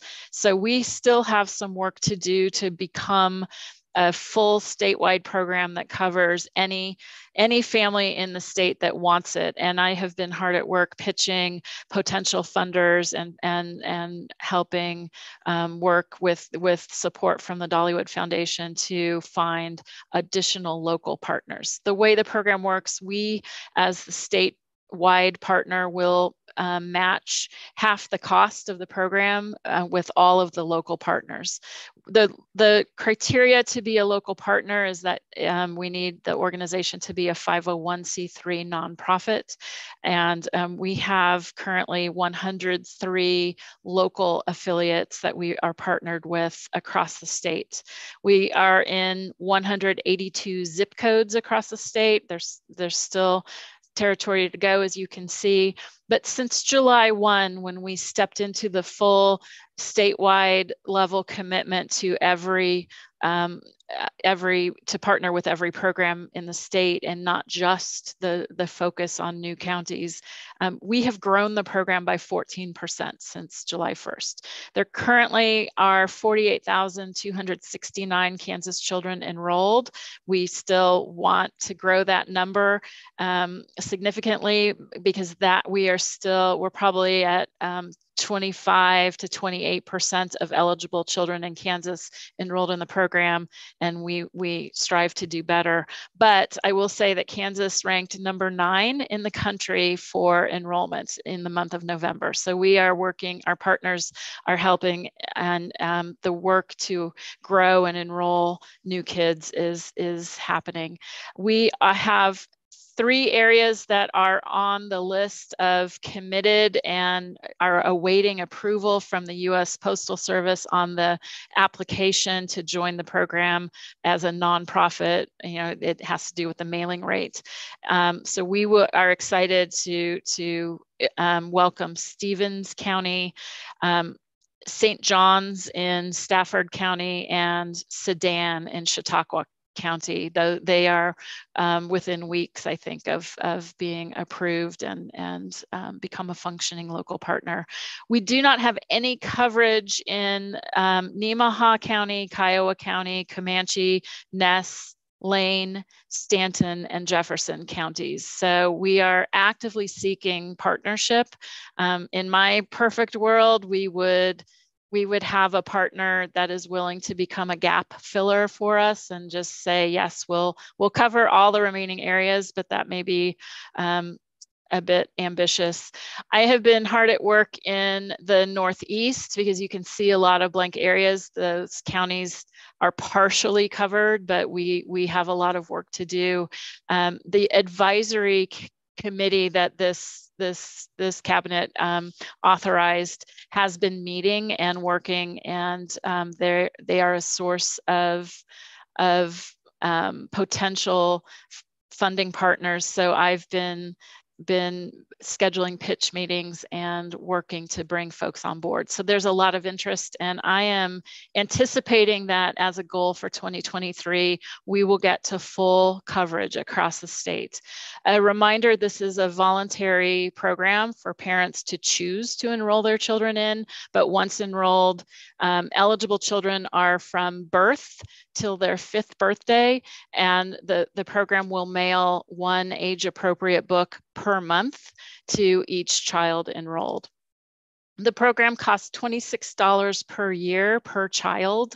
Um, we, we then would pay half of that, so $13 a year per child, and the local partner covers the other half. The costs cover the printing of the books for Kansas children and the mailing costs for Kansas kids. All of the overhead otherwise is handled by the Dollywood Foundation. Um, overall for for the program. So we are we are appreci- we're very appreciative of the partnership and the support um, from the legislature getting our line item in the budget. We will outgrow that line item. So part of the June budget recommendations involved growth in the dollar amount allocated for this program. I am hopeful that that will go through because we we have a lot of potential. This program has proven, um, Dollywood Foundation has studies to show the benefit of helping foster a love of reading early in a child's life so that when they arrive in kindergarten, um, they are equipped with, with um, a predisposition to love reading and, and um, it is a recipe for success. So we are excited about this program as you, as you might hear in my voice. Um, we have been, as, as the um, annual report outlines, um, I have had a number of conversations with organizations around the state. Um, the Kansas Chamber of Commerce has invited me in, and I've had several follow-up meetings with, with their staff. They are very aware of the role childcare plays in economic development and are proving to be a good partner, um, as well as local chambers of commerce and economic development organizations. So I have been, um, there's an uptick in the number of invitations to come give presentations around childcare um, to help the business community understand how they can get connected. The, the basically what I share with them are the resources that are available. Um, primarily, it's connecting them to Child Care Aware of Kansas as the resource and referral agent for the state of Kansas. And then obviously KDHE licensing folks um, and, and, you know, the DCF subsidy program plays a part, but it's trying to connect the, the um, community of stakeholders that know childcare is important and an issue in their area, but they, they don't know where to turn to get support. So we have, have been promoting the Communities in Action program that you had a presentation about last month or at the last meeting. And that there we've seen a, an uptick in interest and I know that that program is providing a lot of support. And finally, I, um, a couple weeks ago, attended the National Trust Fund Alliance. It's, the National Alliance of Children's Trust Funds. had a, their annual meeting in person for the first time in three years. So it was nice to go and, and um, learn alongside colleagues from states around the country. It was a conference that was held in partnership with the Prevent Child Abuse America um, program. So we had our partners from KCSL, the Kansas Children's Services League, attended as well, and we had overlapping um, sessions with them. So it, it was a worthwhile week spent learning about preventive measures to um, help strengthen families across the country. I will stop there because this is this meeting is running um, long. I appreciate your time and attention. Um, I think um, the, the upcoming meeting schedule for 2023 is available to all of you. So you can help um, help us with attendance by, by putting these on your calendar. I think Lindsay is probably um, going to be sending, if she hasn't already, um, sending the meeting invitations for 2023 to make it easy to accept them and, and have them ready and available. We, as a group, decided on virtual meetings because of distance that some members need to travel and work schedules and the like. Um, but we are also Kim and I are talking about a retreat at some point um, in in the first half of 2023. The only change from the first Friday of alternate months that you'll see on that progression of meetings is the April meeting, which we we opted not to meet on Good Friday, which is the first Friday in April. So that one we we shifted to April 14th, the second week. Otherwise, it is 9 a.m. on the first Friday of alternate months, beginning with February 3rd and um, we just uh, very much appreciate the the time that all of you devote to attending. I know schedules are busy and it it's not always easy, but thank you. We we appreciate your participation. Kim, thank I'll turn it back to you. Thank you, Melissa. Good report. All right. Um, is there a motion to adjourn? I need a cabinet member. This is Delise, so moved. Is there a second? Monica second. Monica seconded. Uh, that one we don't need a roll call vote on. So uh, all in favor, uh, say aye. Aye. Aye. Aye. All right, we are adjourned and thank you all again for your participation. You're staying with us. it's been a good meeting. We've learned a lot and we've seen a lot of progress. So thanks everybody. Have a good day. Thanks to all the staff. Doing thanks, guys. Appreciate it. Bye bye.